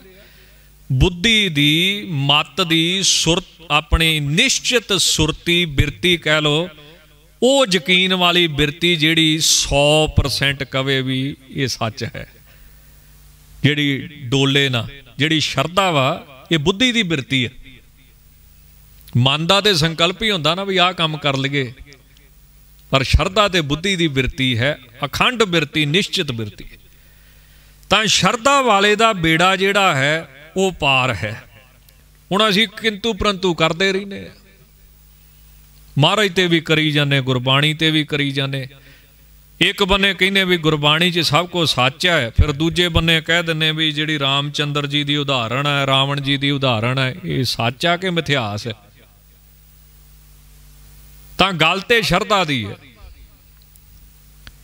ਹੁਣ ਮਹਾਰਾਜ ਬਾਣੀ ਵਿੱਚ ਕੀ ਕਹਿੰਦੇ, ਲਿਖ ਲਿਖ ਧਰਮ ਵਿਚਾਰੇ। ਦੋ ਵਾਰੀ ਲਿਖ ਆਇਆ, ਲੇਖ, ਲਿਖ ਧਰਮ ਵਿਚਾਰ। ਤੇ ਇੱਥੇ ਕੋਰਟ 'ਚ ਜਾਣ ਦਾ ਮੌਕਾ ਮਿਲਿਆ। ਜਾਣਾ ਹੀ ਪੈਂਦਾ ਹੈ, ਜਿਹੋ ਜਿਹਾ ਸਮਾਂ ਹੈ। ਕੇਸ ਚਾਲੀ ਪੈਂਦੇ ਐ ਉਥੇ ਜੱਜ ਦੇ ਸਾਹਮਣੇ ਦੋ ਜਾਣੇ ਬੈਠੇ ਸੀ। ਆਪਾਂ ਕਹਿੰਨੇ ਚਿੱਤਰਗੁਪਤ ਹੁੰਦਾ ਕੋਈ ਨਹੀਂ ਹੈ ਧਰਮਰਾਜ ਹੁੰਦਾ ਕੋਈ ਨਹੀਂ, ਜੱਜ ਦੇ ਸਾਹਮਣੇ ਦੋ ਜਾਣੇ ਹੁੰਦੇ ਜੇ, ਇੱਕ ਰੀਡਰ ਤੇ ਇੱਕ ਸਟੈਨੋ ਉਹਨਾਂ ਦੇ ਰੀਡਰ ਦੇ ਮੇਰੇ ਖਿਆਲ ਨਾਲ ਜਾਂ ਜਿਹੜਾ ਵੀ ਲਿਖਦਾ, ਉਹ ਜਿਹੜੇ ਦੋ ਜਾਣੇ ਆ। ਇੱਕ ਬਿਆਨ ਲੈਂਦਾ, ਦੂਜਾ ਫੈਸਲੇ ਨੂੰ ਨੋਟ ਕਰਦਾ। ਉਹ ਵੀ ਦੋ ਮੰਨੇ ਆ। ਧਰਮ ਦੇ ਵਿੱਚ ਵੀ ਦੋ ਮੰਨੇ ਆ, ਚਿੱਤਰ ਤੇ ਗੁਪਤ। ਤੇ ਤੀਸਰਾ ਕੀ ਮੰਨਿਆ? ਧਰਮ ਰਾਜਾ ਇਦਾਂ ਹੀ ਅੱਜ ਵੀ ਕਚਹਿਰੀਆਂ 'ਚ ਇਦਾਂ ਹੀ ਹੈ ਪਰ ਗੱਲ ਤੇ ਸ਼ਰਧਾ ਦੀ ਹੈ ਜਿੰਨੇ ਸ਼ਰਧਾ ਮਹਾਰਾਜ ਤੇ ਲੈ ਆਂਦੀ। ਤਾਂ ਮਹਾਰਾਜ ਕੀ ਕਹਿੰਦੇ ਹਨ, ਇਹੋ ਜੀ ਸ਼ਰਧਾ, ਜਿਹੋ ਜੀ ਭਾਈ ਲక్ష్మణ ਸਿੰਘ ਜੀ ਦੀ ਸ਼ਰਧਾ, ਸ਼ਹੀਦਾਂ ਦੀ ਸ਼ਰਧਾ, ਸਮਾਂ ਆਪਣੀ ਗਤੀ ਦੇ ਨਾਲ ਵੱਧ ਰਿਹਾ ਹੈ ਸਮਾਪਤੀ ਵੱਲ, ਆਨੰਦੀ ਸਰੂਪੇ, ਉਹ ਪਰਮੇਸ਼ਰ ਦੁੱਖ ਤੋਂ ਰਹਿਤ ਵਾਹਿਗੁਰੂ ਹੈ ਆਗਾਤ ਤੋਂ ਰਹਿਤ ਹੈ। ਗਾਦ ਹੱਦ ਤੋਂ ਰਹਿਤ ਆਬਾਦ ਦੁੱਖ ਨਹੀਂ ਉਹਨੂੰ ਵਿਆਪਦਾ ਬਾਅਦ ਉਹਦਾ ਕੋਈ ਨਾਸ ਨਹੀਂ ਕਰ ਸਕਦਾ ਤੇ ਆਨੰਦ ਸਰੂਪ ਹੈ ਉਹ ਪਰਮੇਸ਼ਰ। ਨਮੋ ਸਰਬਤ। ਨਮੋ ਸਰਬ ਮਾਨੇ ਸਮਸਤੀ ਨਿਧਾਨੇ। ਤੇ ਉਹਨੂੰ ਫਿਰ ਸਾਰੇ ਹੀ ਮੰਨਦੇ ਆ। ਕੋਈ ਤੇ ਉਹਨੂੰ ਸਰਗੁਣ ਰੂਪ ਚ ਮੰਨਦਾ ਹੈ ਦੋ ਰੂਪ ਹੁੰਦੇ ਨਾ ਜੀ ਰੂਪਕ ਤੇ ਅਰਥ। ਹੁਣ ਜਿਹੜੇ ਪੁਰਾਣੇ ਗ੍ਰੰਥ ਉਹ ਰੂਪਕ ਵਰਤਦੇ ਆ ਸਾਰੇ ਰੂਪਕ। ਜਿਵੇਂ ਬ੍ਰਹਮਾ ਜੀ ਦੇ ਚਾਰ ਮੂੰਹ। ਚਾਰ ਮੂੰਹ ਕੀ ਆ ਰੂਪਕ? ਉਹਦਾ ਅਰਥ ਕੀ ਆ? ਕਰੁਣਾ, ਮੈਤਰੀ, ਮੁਦਤਾ, ਅਪੇਖਿਆ। ਜਾਂ ਜਿਹੜਾ ਰੱਬ ਚਾਰੇ ਪਾਸੇ ਦੇਖਦਾ। ਹੁਣ ਰੂਪਕ ਕੀ ਆ? ਚਾਰ ਮੂੰਹ, ਪਰ ਅਰਥ ਕੀ ਆ? ਅਰਥ ਹੋਰ ਨਿਕਲਦਾ ਹੈ। ਇਸੇ ਤਰ੍ਹਾਂ ਰੂਪਕ ਕੀ ਆ? ਰਾਵਣ ਦੇ 10 ਸਿਰ। ਅਰਥ ਕੀ ਆ? ਮਹਾ ਵਿਦਵਾਨ ਪ੍ਰਕੰਡ ਵਿਦਵਾਨ। ਇਹੋ ਜਿਹਾ ਵਿਦਵਾਨ ਜੀ ਦੇ ਬਰਾਬਰ ਹੀ ਕੋਈ ਵਿਦਵਾਨ ਨਹੀਂ। ਇਦਾਂ ਪੁਰਾਣੇ ਗ੍ਰੰਥਾਂ 'ਚ ਰੂਪਕ ਮੰਨੇ ਹੁੰਦੇ ਆ। ਜਿਵੇਂ ਦੁਰਗਾ ਜੀ ਦੀਆਂ ਚਾਰ ਬਾਹਾਂ, ਅੱਠ ਬਾਹਾਂ।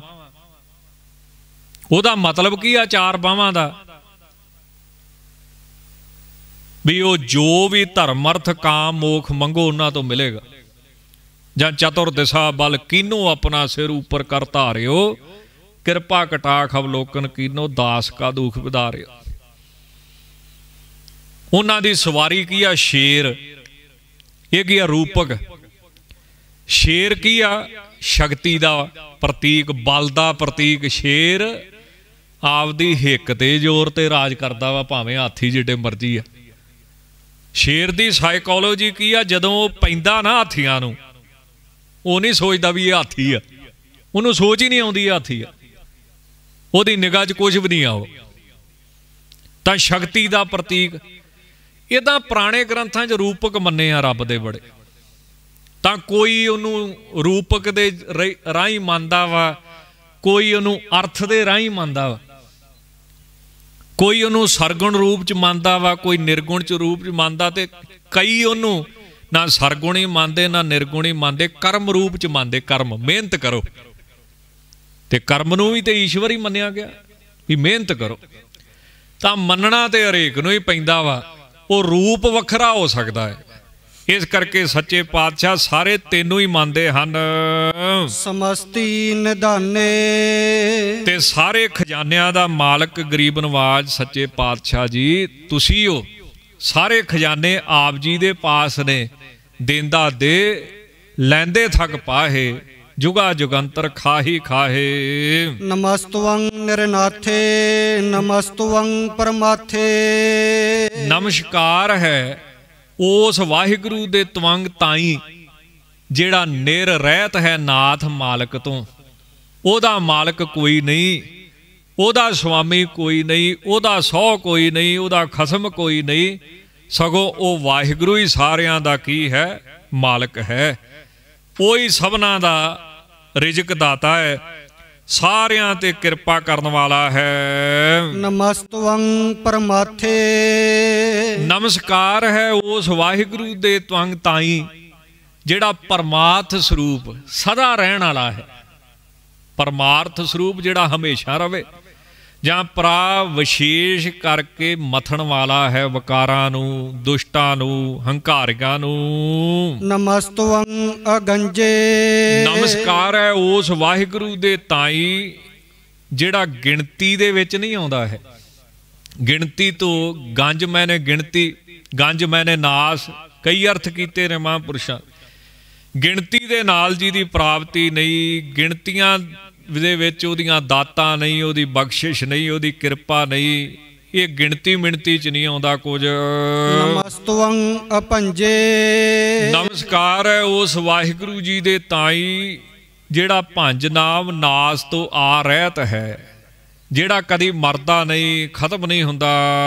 ਨਮਸਤਵੰ ਅਕਾਲੇ। ਨਮਸਕਾਰ ਹੈ ਉਸ ਵਾਹਿਗੁਰੂ ਦੇ ਤਾਈ ਜਿਹਦੇ ਉੱਤੇ ਕਾਲ ਸਮੇਂ ਦਾ ਕੋਈ ਅਸਰ ਨਹੀਂ ਹੈ। ਕਾਲ ਦੁਰਭਿਖ ਜਿਵੇਂ ਪੈ ਜਾਂਦਾ ਹੈ, ਅੰਨ ਦੀ ਟੋਟ ਆ ਜਾਂਦੀ ਹੈ, ਤਾਂ ਦੁਨੀਆ ਮਰਨ ਲੱਗ ਪੈਂਦੀ ਹੈ। ਇਦਾਂ ਦੁਰਭਿਖ ਦਾ ਜਿਹਦੇ ਉੱਤੇ ਅਸਰ ਨਹੀਂ, ਕਾਲ ਮੌਤ ਦਾ ਜਿਹਦੇ ਉੱਤੇ ਅਸਰ ਨਹੀਂ, ਐਸੇ ਵਾਹਿਗੁਰੂ ਦੇ ਤਾਈ ਮਾਰੇ ਕਹਿੰਦੇ ਨਮਸਕਾਰ ਹੈ। ਚਲੋ ਸਮਾਂ ਤੇ ਬਹੁਤ ਜ਼ਿਆਦਾ ਹੋ ਚੁੱਕਿਆ, ਪਰ ਇੱਕ ਆਪਾਂ ਸਾਖੀ ਲਾ ਲਈਏ ਤੇ ਸਮਾਪਤੀ ਕਰੀਏ। ਹਜ਼ਰਤ ਮੂਸਾ ਸਾਹਿਬ ਦੇ ਪਾਸ ਇੱਕ ਸੱਜਣ ਗਿਆ। ਉਹ ਜਾ ਕੇ ਕਹਿੰਦਾ ਬਈ ਤੁਸੀਂ ਮੇਰੇ ਤੇ ਕਿਰਪਾ ਕਰੋ, ਮੈਂ ਵਿਦਿਆ ਪੜ੍ਹਨੀ ਹੈ। ਹਜ਼ਰਤ ਸਾਹਿਬ ਕਹਿਣ ਲੱਗੇ ਵੀ, ਵਿਦਿਆ ਜਿਹੜੀ ਪੜ੍ਹਨੀ, ਉਹ ਪੜ੍ਹ ਲਾ, ਮਿਹਨਤ ਕਰਕੇ ਗ੍ਰੰਥਾਂ ਤੋਂ। ਕਹਿੰਦਾ, ਨਹੀਂ, ਉਹ ਵਿਦਿਆ ਗ੍ਰੰਥਾਂ 'ਚ ਨਹੀਂ ਆਉਂਦੀ, ਕਿਤਾਬਾਂ 'ਚ ਨਹੀਂ ਆਉਂਦੀ। ਕਹਿੰਦੇ, ਕਿਹੜੀ? ਕਹਿੰਦਾ ਚੌਪਾਇਆਂ ਦੀ ਬੋਲੀ, ਜੀਵ ਜੰਤੂਆਂ ਦੀ ਬੋਲੀ ਮੈਂ ਸਿੱਖਣੀ ਹੈ। ਕਹਿੰਦੇ, ਕਿਉਂ? ਕਹਿੰਦਾ ਜੀ ਬੰਦਾ ਬਹੁਤ ਕਪਟੀ ਹੋ ਚੁੱਕਾ, ਕਪਟੀ। ਛਲ ਧੋਖਾ, ਕਪਟ ਕਰਦਾ, ਸ਼ੈਤਾਨੀ ਕਰਦਾ, ਚਲਾਕੀ ਕਰਦਾ, ਬੇਈਮਾਨੀ ਕਰਦਾ। ਪਰ ਪਸ਼ੂ ਪੰਛੀ ਤੇ ਨਹੀਂ ਨਾ ਕਰਦੇ। ਜੀਵ ਜੰਤੂ ਤੇ ਨਹੀਂ ਨਾ ਕਰਦੇ। ਜਿਵੇਂ ਉਹ ਰੋਜੀ ਰੋਟੀ ਚਲਾਉਂਦੇ, ਉਸੇ ਤਰ੍ਹਾਂ ਮੇਰਾ ਇਰਾਦਾ ਵੀ ਆਪਣੀ ਵੀ ਚੱਲੇ, ਛਲ ਕਪਟ ਤੋਂ ਰਹਿਤ। ਇਸ ਕਰਕੇ ਕਿਰਪਾ ਕਰਕੇ ਮੈਨੂੰ ਜੀਵ ਜੰਤੂਆਂ ਦੀ, ਚੌਪਾਇਆਂ ਦੀ ਬੋਲੀ ਸਿਖਾਓ। ਉਹਨਾਂ ਆਖਿਆ ਵੀ ਪਛਤਾਏਗਾ। ਉਹਨਾਂ ਖੁਦਾ ਅੱਗੇ ਅਰਦਾਸ ਕੀਤੀ, ਦੁਆ ਕੀਤੀ, ਹੈ ਖੁਦਾ ਮੈਂ ਇਹਨੂੰ ਬੜਾ ਸਮਝਾਉਣ ਦਾ ਯਤਨ ਕਰਦਾ, ਪਰ ਇਹ ਚੰਗਾ ਖੜੇ ਪਿਆ ਮੇਰੇ। ਇੱਕ ਉਹ ਤੇਰਾ ਨਾਂ ਲੈਂਦਾ ਹੈ ਤੇ ਤੇਰੇ ਨਾਂ ਤੇ ਉਹਨੂੰ ਨਿਰਾਸ਼ ਕਿਦਾਂ ਮੋੜਾਂ, ਤੇ ਜੇ ਨਹੀਂ ਮੋੜਦਾ ਉਹਨੂੰ ਸਿਖਾ ਦਵਾਂ ਤੇ ਫਿਰ ਉਹ ਦੁੱਖ ਪਾਵੇਗਾ, ਤੇਰੇ ਭਾਣੇ 'ਚ ਦਖਲ ਦਵੇਗਾ। ਖੁਦਾ ਨੇ ਅੱਗੇ ਉਹ ਆਕਾਸ਼ ਬਾਣੀ ਕੀਤੀ ਕਿ ਹਜ਼ਰਤ ਮੂਸਾ ਜੀ ਨੂੰ ਕਿ ਮੂਸਾ ਜੀ ਵੀ ਨਿਰਾਸ਼ ਨੂੰ ਮੋੜਨਾ ਹੈ? ਜਿਹੜਾ ਮੇਰੇ ਅੱਗੇ ਦੁਆ ਕਰੇ, ਉਹਦੀ ਦੁਆ ਨਿਸਫਲ ਨਹੀਂ ਜਾਂਦੀ। ਕਿਸੇ ਸਮੇਂ ਉਹ ਪੂਰੀ ਹੁੰਦੀ ਹੈ। ਇਸ ਕਰਕੇ ਉਹਨੂੰ ਸਿਖਾਓ। ਚਲੋ ਉੱਥੇ ਸਿੱਖਣਾ, ਸਿਖਾਉਣਾ ਕੀ ਸੀ? ਦੁਆ ਹੀ ਕਰਨੀ ਸੀ, ਅਰਦਾਸ ਹੀ ਕਰਨੀ ਸੀ। ਹਜ਼ਰਤ ਸਾਹਿਬ ਨੇ ਉਹਨੂੰ ਸਮਝਾਇਆ ਵੀ ਤੂੰ ਐ ਕਰ, ਭਗਤੀ ਕਰ। ਤੇ ਜਦੋਂ ਖੁਦਾ ਤੈਨੂੰ ਪ੍ਰਤੱਖ ਹੋ ਜਾਊਗਾ, ਆਪੇ ਹੀ ਸਾਰਾ ਗਿਆਨ ਹੋ ਜਾਊਗਾ, ਬ੍ਰਹਮ ਗਿਆਨ ਹੋ ਜਾਊਗਾ, ਕੀ ਸਿੱਖਣਾ ਤੂੰ? ਪਰ ਉਹ ਨਹੀਂ ਮੰਨਿਆ ਫਿਰ। ਤਾਂ ਉਹਨਾਂ ਨੇ ਖੁਦਾ ਅੱਗੇ ਦੁਆ ਕੀਤੀ ਕਿ ਖੁਦਾ, ਹਾਂ ਸੱਚ ਇੱਕ ਥੋੜੀ ਜੀ ਗੱਲ ਵਿਸਰ ਗਈ। ਉਹ ਕਹਿੰਦੇ ਵੀ ਇਹ ਰੱਬ ਦੇ ਭਾਣੇ 'ਚ ਦਖਲ ਆ ਇਹ ਇਦਾਂ ਨਾ ਕਰ, ਤੂੰ ਨਾ ਫੇਰ ਸਮਝਾਇਆ। ਉਹ ਕਹਿੰਦਾ, ਚਲੋ ਇੰਨੀ ਕੁ ਮੇਰੀ ਬੇਨਤੀ ਆ ਵੀ ਤੁਸੀਂ ਨਾ ਮੇਰੇ ਘਰ ਦਰਵਾਜ਼ੇ ਅੱਗੇ ਕੁੱਤਾ ਬੰਨਿਆ ਹੁੰਦਾ, ਉਹਦੀ ਬੋਲੀ ਸਿਖਾ ਦਿਓ। ਉਹਦੀ ਭਾਸ਼ਾ ਦਾ ਗਿਆਨ ਕਰਾ ਦਿਓ ਤੇ ਇੱਕ ਮੈਂ ਕੁੱਕੜ ਰੱਖਿਆ। ਉਹ ਬਾਂਗਾ ਦਿੰਦਾ ਰਹਿੰਦਾ ਹੈ। ਉਹਦੀ ਭਾਸ਼ਾ ਦਾ ਗਿਆਨ ਕਰਾ ਦਿਓ। ਬਾਕੀ ਤੁਹਾਡਾ ਬਚਨ ਮੈਂ ਮੰਨ ਲੈਣਾ ਇੰਨਾ ਕਿ ਤੁਸੀਂ ਮੇਰਾ ਮੰਨ ਲਓ। ਚਲੋ, ਉਹਨਾਂ ਖੁਦਾ ਅੱਗੇ ਦੁਆ ਕੀਤੀ। ਉਹਨੂੰ ਕੁੱਤੇ ਉੱਥੇ ਪੜਨਾ ਪੜਾਉਣਾ ਕੀ ਸੀ? ਅਰਦਾਸ ਹੀ ਹੋਣੀ ਸੀ, ਕਿਰਪਾ ਹੀ ਹੋਣੀ ਸੀ, ਬਖਸ਼ਿਸ਼ ਹੀ ਹੋਣੀ ਸੀ। ਤਾਂ ਉਹ ਫਿਰ ਉਹਦੀ ਅਵਸਥਾ ਇਦਾਂ ਦੀ ਬਣ ਗਈ ਵੀ ਉਹਨੂੰ ਕੁੱਤੇ ਦੀ ਤੇ ਕੁੱਕੜ ਦੀ ਭਾਸ਼ਾ ਸਮਝ ਆਉਣ ਲੱਗ ਪਈ। ਬੜਾ ਖੁਸ਼। ਰੋਟੀ ਖਾਣ ਲੱਗਾ ਤੇ ਉਹਨੇ ਇੱਕ ਬੁਰਕੀ ਵਿੱਚੋਂ ਜਿੱਦਾਂ ਆਪਾਂ ਵੀ ਪਾ ਦਿੰਨੇ ਆ ਕੁੱਤੇ ਨੂੰ ਤੋੜ ਕੇ ਸੁੱਟੀ। ਉਹ ਕੁੱਕੜ ਆਇਆ, ਉਹਨੇ ਚੁੱਕ ਕੇ ਮੂੰਹ 'ਚ ਪਾ ਲਈ। ਕੁੱਤੇ ਨੂੰ ਚੜਿਆ ਗੁੱਸਾ। ਉਹ ਕਹਿੰਦਾ ਬੇਈਮਾਨਾ ਵੀ ਤੂੰ ਤੇ ਦਾਣੇ ਵੀ ਚੋਗ ਸਕਦਾ ਸੀ ਤੇ ਜੇ ਬੁਰਕੀ ਮੈਂ ਖਾ ਲੈਣਾ ਤੇ ਤੇਰਾ ਢਿੱਡ ਪੀੜ ਹੁੰਦਾ ਸੀ। ਵੀ ਤੂੰ ਤੇ ਕੁੱਕਣਾ ਤੂੰ ਤੇ ਦਾਣੇ ਵੀ ਚੁੱਕ ਸਕਦਾ ਤੇ ਬੁਰਕੀ ਕਿਉਂ ਖਾਦੀ ਤੂੰ? ਬੁਰਕੀ ਤੇ ਮੈਨੂੰ ਪਾਈ ਸੀ ਉਹਨੇ। ਉਹ ਕੁੱਕੜ ਕਹਿਣ ਲੱਗਾ ਵੀ ਤੁਹਾਡਾ ਨਾ ਕੁੱਤਿਆਂ ਦਾ ਸੁਭਾਅ ਨਹੀਂ ਬਦਲਦਾ। ਵੀ ਤੁਸੀਂ ਸੰਤੋਖ ਨਹੀਂ ਆਊਗਾ ਤੁਹਾਨੂੰ ਕਦੀ। ਵੀ ਤੇਰਾ ਇੱਕ ਬੁਰਕੀ ਨਾ ਕੀ ਬਣਨਾ ਵਾ, ਏਡਾ ਢਿੱਡ ਤੇਰਾ। ਮੈਂ ਤੇ ਰੱਜ ਜਾਣਾ ਵਾ। ਤੇ ਤੂੰ ਐਵੇਂ ਮੇਰੇ ਤੇ ਗੁੱਸਾ ਨਾ ਕਰ ਨਜਾਇਜ਼, ਵੀ ਕੱਲ ਨੂੰ ਨਾ ਇਹਦੀ ਗਊ ਮਰਨੀ ਆ। ਜੇ ਦਾਸ ਭੁਲੇਖਾ ਨਾ ਕਾਵੇ ਵੀ ਗਊ ਮਰਨੀ ਸ਼ਾਇਦ, ਪਤਾ ਨਹੀਂ ਹੁਣ ਹੋਰ ਵੀ ਹੋ ਸਕਦਾ ਜਾਨਵਰ ਇਹ ਗਊ ਮਰਨੀ ਸ਼ਾਇਦ ਇਹਦੀ। ਉਹਨੂੰ ਭਾਸ਼ਾ ਸਮਝ ਆਉਂਦੀ ਸੀ। ਉਹ ਕਹਿੰਦਾ, ਤੇਰਾ ਭਲਾ ਹੋ ਜੇ ਏਡਾ ਨੁਕਸਾਨ ਉਹਨੇ ਚੁੱਕ ਕੇ ਗਊ ਵੇਚਤੀ। ਗਊ ਵੇਚਤੀ ਜਾਂ ਹੋਰ ਕੋਈ ਜਾਨਵਰ ਹੋਊਗਾ, ਵੇਚਤਾ ਉਹਨੇ। ਤੇ ਉਹ ਅਗਲੇ ਦਿਨ ਫਿਰ ਜਿੰਨੇ ਖਰੀਦਿਆ, ਉੱਥੇ ਜਾ ਕੇ ਉਹਦੀ ਗਊ ਦੀ ਮੌਤ ਹੋ ਗਈ। ਤੇ ਇਹ ਜਿਹੜਾ ਸੱਜਣ ਸੀ ਜਿਨੇ ਵਿਦਿਆ ਸਿੱਖੀ ਸੀ, ਆਪਣੀ ਕੁੱਤੇ ਦੀ ਤੇ ਕੁੱਕੜ ਦੀ ਭਾਸ਼ਾ ਸਮਝਣ ਦੀ, ਇਹ ਬਹੁਤ ਖੁਸ਼। ਵੇਖਿਆ ਕਿੱਡੇ ਨੁਕਸਾਨ ਤੋਂ ਬਚ ਗਿਆ। ਹਜ਼ਰਤ ਮੂਸਾ ਸਾਹਿਬ ਦੇ ਗੁਣ ਗਾਵੇ। ਚਲੋ ਉਹ ਅਗਲਾ ਦਿਨ ਹੋਇਆ, ਫਿਰ ਰੋਟੀ ਖਾਣ ਬੈਠਾ ਜਿਵੇਂ ਲਿਖਿਆ ਸਾਖੀ ਦੇ ਵਿੱਚ। ਉਹਨੇ ਫਿਰ ਮਾਲਕ ਨੇ ਕੁੱਤੇ ਵੱਲ ਰੋਟੀ ਸੁੱਟੀ ਤੇ ਕੁੱਕੜ ਨੇ ਫਿਰ ਚੁੱਕ ਲਈ। ਤੇ ਫਿਰ ਆਪਸ ਵਿੱਚ ਬਹਿਸ ਬਸਈਆ ਹੋ ਗਿਆ। ਕੁੱਤਾ ਕਹਿੰਦਾ, ਤੂੰ ਤੇ ਕਹਿੰਦਾ ਸੀ ਗਊ ਮਰੂਗੀ ਕੱਲ ਨੂੰ ਜਿੰਨਾ ਮਰਜ਼ੀ ਗੋਸ਼ਤ ਖਾਈ। ਮੁੱਕਣਾ ਹੀ ਨਹੀਂ ਆ। ਐਵੇਂ ਨੀਤ ਮਾੜੀ ਕਰਦਾ ਰਹਿਣਾ, ਜੋ ਮਰਜ਼ੀ ਖਾਈ ਜਾਈ, ਜਿੰਨੇ ਮਰਜ਼ੀ ਦਿਨ ਖਾਈ ਜਾਈ। ਅਖੀਰ ਉਥੇ ਹੱਡਾ ਰੋੜੀ ਜਾ ਕੇ ਸੁੱਟਣਾ ਸੀ ਸਾਰਾ ਕੁਝ। ਜੋ ਮਰਜ਼ੀ ਖਾਈ ਜਾਈ ਉਹ ਦੂਜੇ ਦਿਨ ਜਦੋਂ ਕੁੱਤੇ ਨੇ ਆਖਿਆ ਨਾ, ਗਊ ਤੇ ਮਰੀ ਨਹੀਂ ਕਹਿੰਦਾ, ਨਹੀਂ, ਮਰੀ ਤੇ ਹੈ, ਪਰ ਮਾਲਕ ਨੂੰ ਪਤਾ ਨਹੀਂ ਕਿਦਾਂ ਪਤਾ ਲੱਗ ਗਿਆ, ਵੇਚ ਆਇਆ। ਤਾਂ ਉਹ ਜਿਹੜਾ ਕੁੱਤਾ ਸੀ, ਫਿਰ ਸਾਧ ਸੰਗਤ ਜੀ, ਉਹ ਫਿਰ ਕੁੱਕੜ ਦੇ ਗਲ ਪੈ ਗਿਆ। ਉਹ ਕਹਿੰਦਾ, ਕੁੱਕੜ ਕਹਿੰਦਾ ਵੀ, ਤੁਸੀਂ ਕੁੱਤਿਆਂ ਵਾਲਾ ਸੁਭਾਅ ਨਹੀਂ ਤੁਹਾਡਾ ਜਾਂਦਾ, ਹਰ ਗੱਲ ਤੇ ਭੌਂਕਦੇ ਰਹਿੰਦੇ ਹੋ। ਤੇ ਤੂੰ ਇਦਾਂ ਨਾ ਕਰ ਕੱਲ ਨੂੰ ਨਾ ਮਾਲਕ ਦਾ ਊਠ ਮਰ ਜਾਣਾ। ਜਦੋਂ ਕੁੱਕੜ ਦੀ ਗੱਲ ਮਾਲਕ ਨੇ ਸੁਣੀ, ਉਹਨੂੰ ਭਾਸ਼ਾ ਸਮਝ ਆਉਂਦੀ ਸੀ। ਉਹ ਕਹਿੰਦੇ ਉਹਨੇ ਚੋਕੇ ਊਠ ਵੇਚਤਾ। ਊਠ ਮਰਤੇ ਗਿਆ ਕੱਲ ਪਰ ਨੁਕਸਾਨ ਇਹਦਾ ਨਹੀਂ ਹੋਇਆ, ਹੋਰ ਕਿਸੇ ਦੇ ਸਿਰ ਪੈ ਗਿਆ ਜਿਹਨੇ ਖਰੀਦਿਆ ਸੀ। ਚਲੋ, ਉਹ ਫੇਰ ਕੁੱਤਾ ਭੁੱਖੇ ਦਾ ਭੁੱਖਾ। ਫੇਰ ਇਹਨਾਂ ਦੀ ਆਪਸੇ ਵਿੱਚ ਬਹਿਸ ਹੋਈ ਤੇ ਗੱਲ ਨਵੇੜਾ ਸਮਾਂ ਜ਼ਿਆਦਾ ਹੋਈ ਜਾਂਦਾ। ਉਹ ਜਿਹੜਾ ਕੁੱਤਾ ਸੀ, ਆਪਣੇ ਕੁੱਕੜ ਸੀ ਨਾ, ਉਹਨੂੰ ਕੁੱਤਾ ਕਹਿੰਦਾ, ਤੂੰ ਝੂਠ ਬੋਲਦਾ। ਉਹ ਕੁੱਕੜ ਕਹਿੰਦਾ, ਨਹੀਂ, ਮੇਰੀ ਜਾਤ ਝੂਠ ਨਹੀਂ ਬੋਲਦੀ, ਵੀ ਮੈਂ ਝੂਠ ਬੋਲ ਕੇ ਕੀ ਕਰਨਾ ਹੈ? ਇਹ ਕੱਲ ਨੂੰ ਨਾ ਮਾਲਕ ਦਾ ਗੁਲਾਮ ਮਰਨਾ ਵਾ। ਤੇ ਜਦੋਂ ਗੁਲਾਮ ਮਰ ਜੇ, ਨੌਕਰ ਮਰ ਜੇ, ਤੇ ਮਾਲਕ ਨੂੰ ਕੋਈ ਨਾ ਕੋ ਕਰਨਾ ਹੀ ਪੈਣਾ ਵਾ। ਮਰਨ ਤੋਂ ਬਾਅਦ ਜੋ ਕਿਰਿਆ ਕਰਮ ਹੁੰਦਾ ਵਾ, ਤੇ ਨਜ਼ਾਰੇ ਨਾ ਖਾਈ ਤੂੰ। ਇਸ ਕਰਕੇ ਟੈਨਸ਼ਨ ਨਾ ਲੈ ਕੋਈ ਉਹਨੇ ਮਾਲਕ ਨੇ ਕੁੱਕੜ ਦੀ ਗੱਲ ਸੁਣੀ। ਉਹਨੇ ਚੁੱਕ ਕੇ ਗੁਲਾਮ ਵੇਚਤਾ ਅੱਗੇ ਹੋਰ ਕਿਸੇ ਨੂੰ। ਗੁਲਾਮ ਮਰਤੇ ਗਿਆ ਪਰ ਹੋਰ ਕਿਸੇ ਕੋਲੇ ਜਾ ਕੇ। ਅਖੀਰ ਕੁੱਤਾ ਕਹਿੰਦਾ, ਵੇਖਿਆ ਫਿਰ ਮੈਂ ਤੈਨੂੰ ਆਖਿਆ ਸੀ ਨਾ ਵੀ ਤੂੰ ਝੂਠ ਬੋਲਦਾ। ਇਹ ਤੇਰੀ ਹਰ ਗੱਲ ਝੂਠ ਨਿਕਲੀ ਹੈ। ਉਹ ਕੁੱਕੜ ਕਹਿੰਦਾ, ਨਹੀਂ, ਝੂਠ ਨਹੀਂ ਨਿਕਲੀ।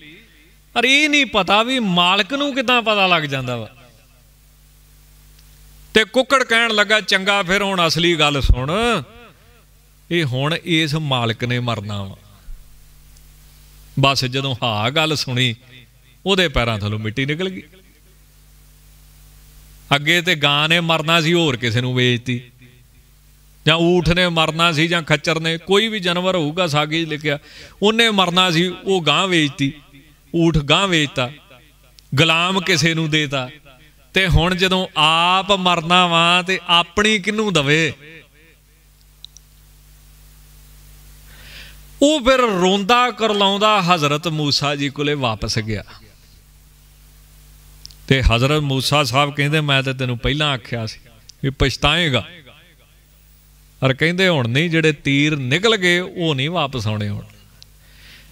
ਪਹਿਲੀ ਗੱਲ ਤੇ ਜੇ ਤੈਨੂੰ ਗਿਆਨ ਕਰਾਤਾ ਸੀ ਤੇ ਤੈਨੂੰ ਉਹ ਭਾਣਾ ਮੰਨਣਾ ਚਾਹੀਦਾ ਸੀ ਖੁਦਾ ਦਾ।